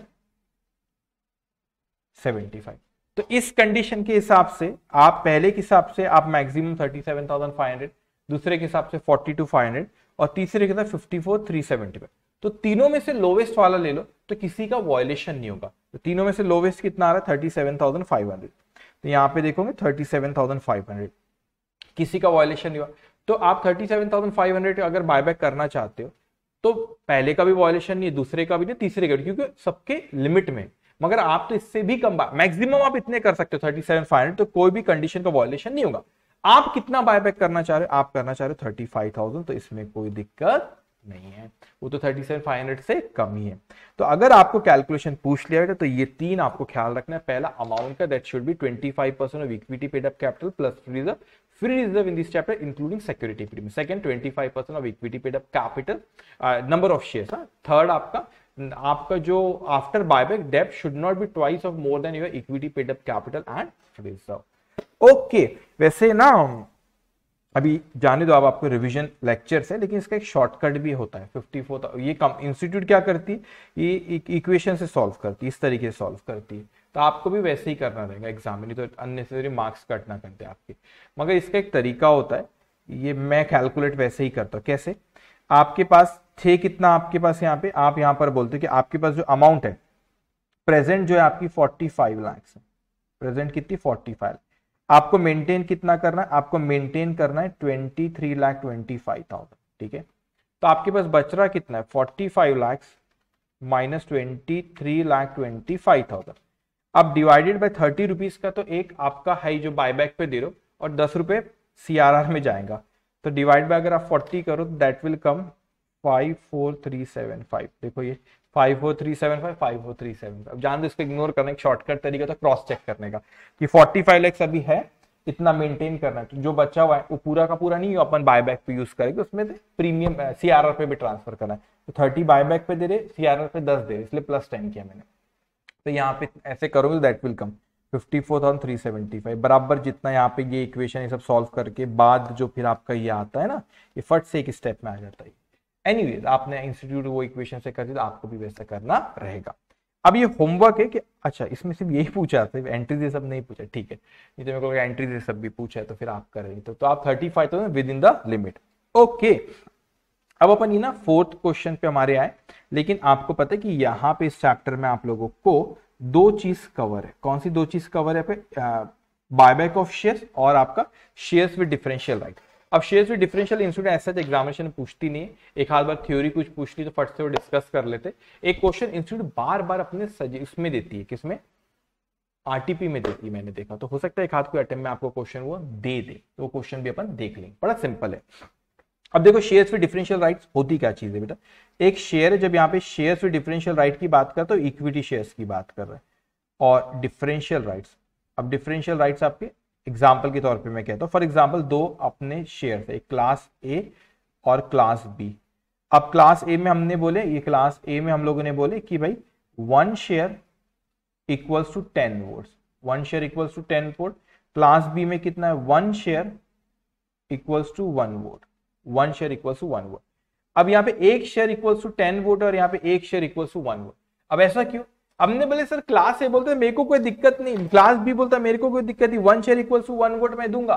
मेरे को मत लो मेरे से वोट मैंने कहा डिविडेंड मेरे को डाल तो डिफरेंशियल राइट्स हम लोग अब फॉर एग्ज़ाम्पल मैंने कहा कि मैंने रिलायंस कंपनी के शेयर लिया अरे मेरे को तो कौन जाना है वोट देने? रिलायंस कंपनी बोलेगी सुबह हम तुमको ज़्यादा डिविडेंड देंगे। हम हाँ, अच्छी बात है। वोट मत देना। मतलब मत लो वोट कौन सा मैं जाता हूँ कौन सा एजीएम में वहाँ पे वोट दे देता हूँ।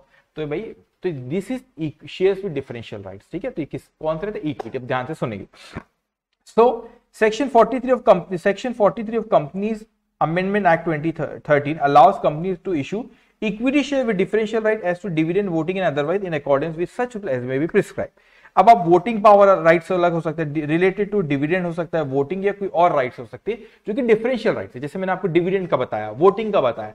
कि किसी को एक वोट है, किसी को एक शेयर के बदले में दस वोट है, किसी को बोला कि हम डिविडेंड तुमको ज़्यादा देते हैं, किसी को बोला कि डिविडेंड कम देंगे तो भाई हमको क्या लेना था? हमको नहीं देना वोट हमको ज़्यादा डिविडेंड दो। तो आप क्या कंपनी से इश्यू कर सकती है हाँ लेकिन that should be equity share so याद रखना note preferential can not be issue with differential right preferential आप डिफरेंशियल राइट से इशू नहीं ओनली इक्विटी शेयर अब इसको इशू करने के पीछे कुछ कंडीशन है बेटा, वो कुछ कंडीशन आपने ख्याल रखना इंस्टीट्यूट ये कोई अटेम्प में पूछी भी है। ये पूछी भी है और हो सकता है आपके अटेम्प में थ्योरी के लिए चार नंबर के लिए पूछ ले।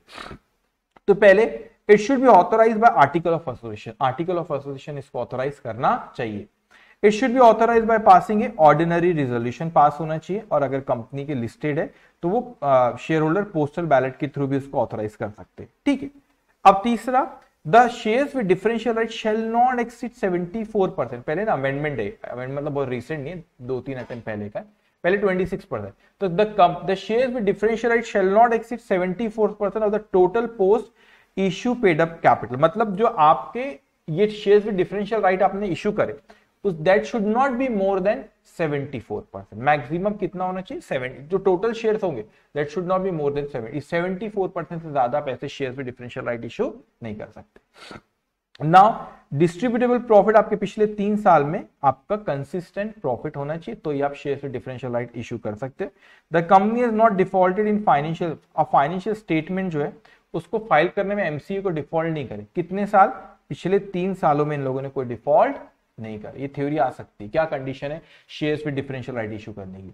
Next the company is no subsisting default in the payment of what आपने डिक्लेयर करो डिविडेंड नहीं दिए, उसमें ऐसा फॉल्ट होना नहीं चाहिए। Repayment of its mature deposit और रिडेम्पशन ऑफ़ प्रेफरेंशियल और डिबेंचर अब आपने प्रॉपर डिविडेंड डिक्लेयर कर तो आपने पे करे। रिडेम्शन ऑफ़ प्रेफरेंसेस जब बोले उसको प्रॉपर रिडीम करे। आपने फिर रिडेम्शन मैच्योरिटी पे आपने डिपॉजिट जो थे बराबर उसको पे करे, ठीक है? इंटरेस्ट प्रॉपर पे करे रिडेम्शन ऑफ़ डिबेंचर आपने प्रॉपर पे करे डिविडेंड आपने प्रॉपर करे पे करे इसमें कोई भी डिफ़ॉल्ट होना नहीं चाहिए।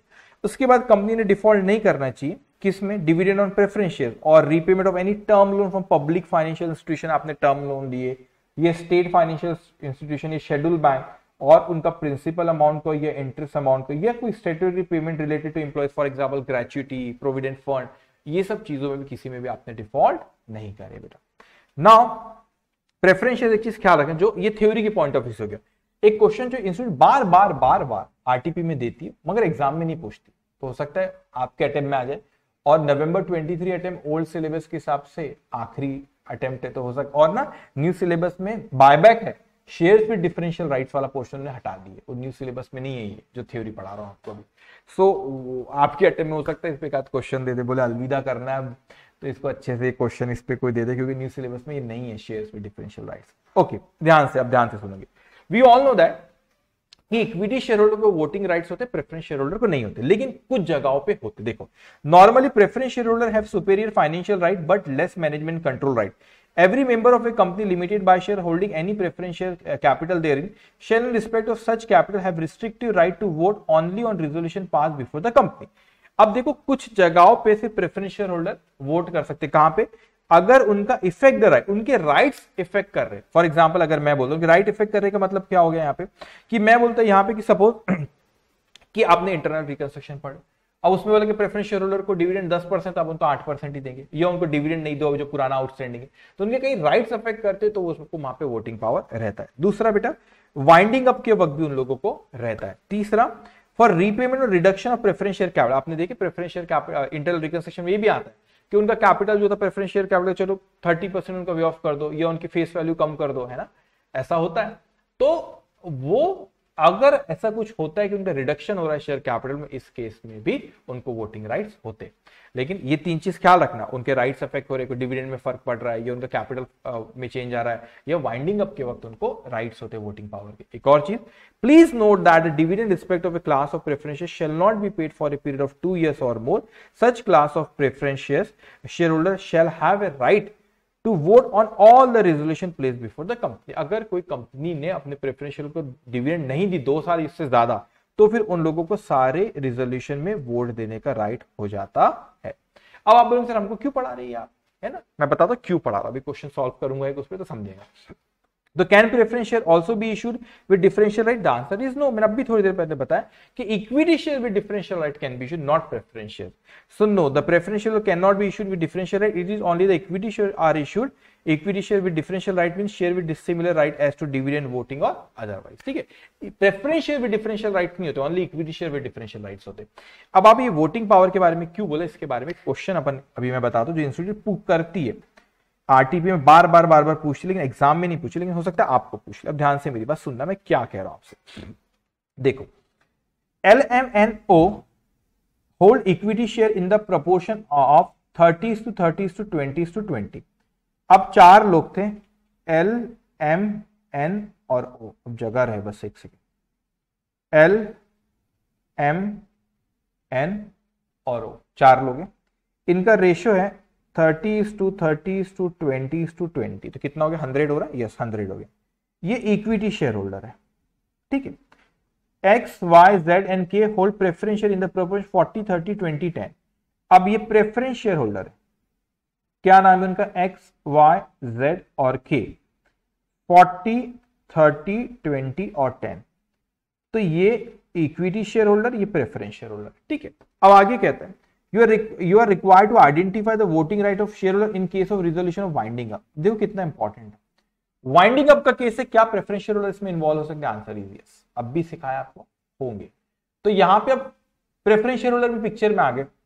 Of the company if the equity paid up capital उनका 80 लाख और प्रेफरेंस शेयर कैपिटल 40 लाख तो वो पूछता है कि अब यहाँ पे you are required to identify voting rights तो यहाँ पे टोटल इक्विटी जो था बेटा वो था 80 लाख और ये था 40 लाख अब देखो क्या चीज़ हो रही है आपकी।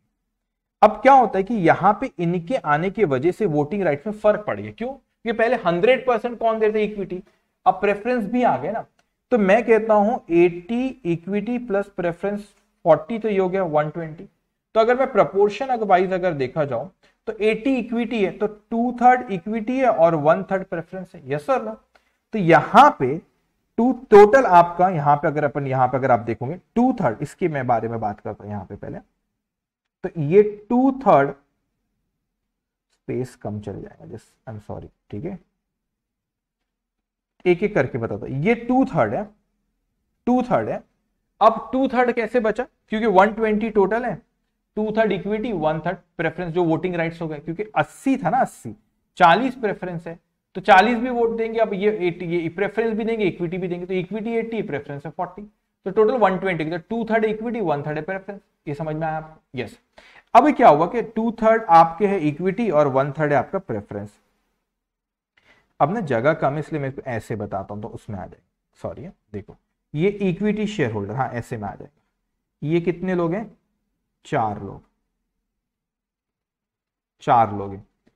एल एम एन और ओ तो ये कितना हो गया आपका? एल एम एन और ओ तो यहाँ पे अब ये two third two third two third two third बहुत ही बुरी राइटिंग में लिखा हूँ one minute two third two third और ये टू थर्ड ध्यान से मेरी बात सुनना तो मैंने कहा two third two third two third क्या लिखा भाई टू थर्ड जो भी इनका राइट अभी टू थर्ड राइट इनके जो भी राइट थे पहले उसका टू थर्ड हो गया। अब यहाँ पे इसने कितने होल्ड करके रखा देखो यहाँ पे। यहाँ पे इनका प्रपोर्शन था thirty to thirty to twenty to twenty तो ये टू थर्ड में इसका थर्टी थर्टी हंड्रेड ठीक है twenty thirty by hundred thirty by hundred twenty by hundred और ये हो गया ट्वेंटी बाय हंड्रेड अब यहाँ पे प्रेफरेंस शेयर होल्डर की बात करूँ तो वो जो चार प्रेफरेंस शेयर होल्डर है, चार जो प्रेफरेंस शेयर होल्डर है, कौन है वो? एक्स वाई जेड एन के अब इनका कितना हो गया बेटा इनका? वन बाई थ्री है इनका। तो one by three one by three one by three अब ये प्रेफरेंशियल होल्डर है। इसमें इन लोगों का कितना राइट्स है? इनका प्रपोर्शन दिया है यहाँ पे।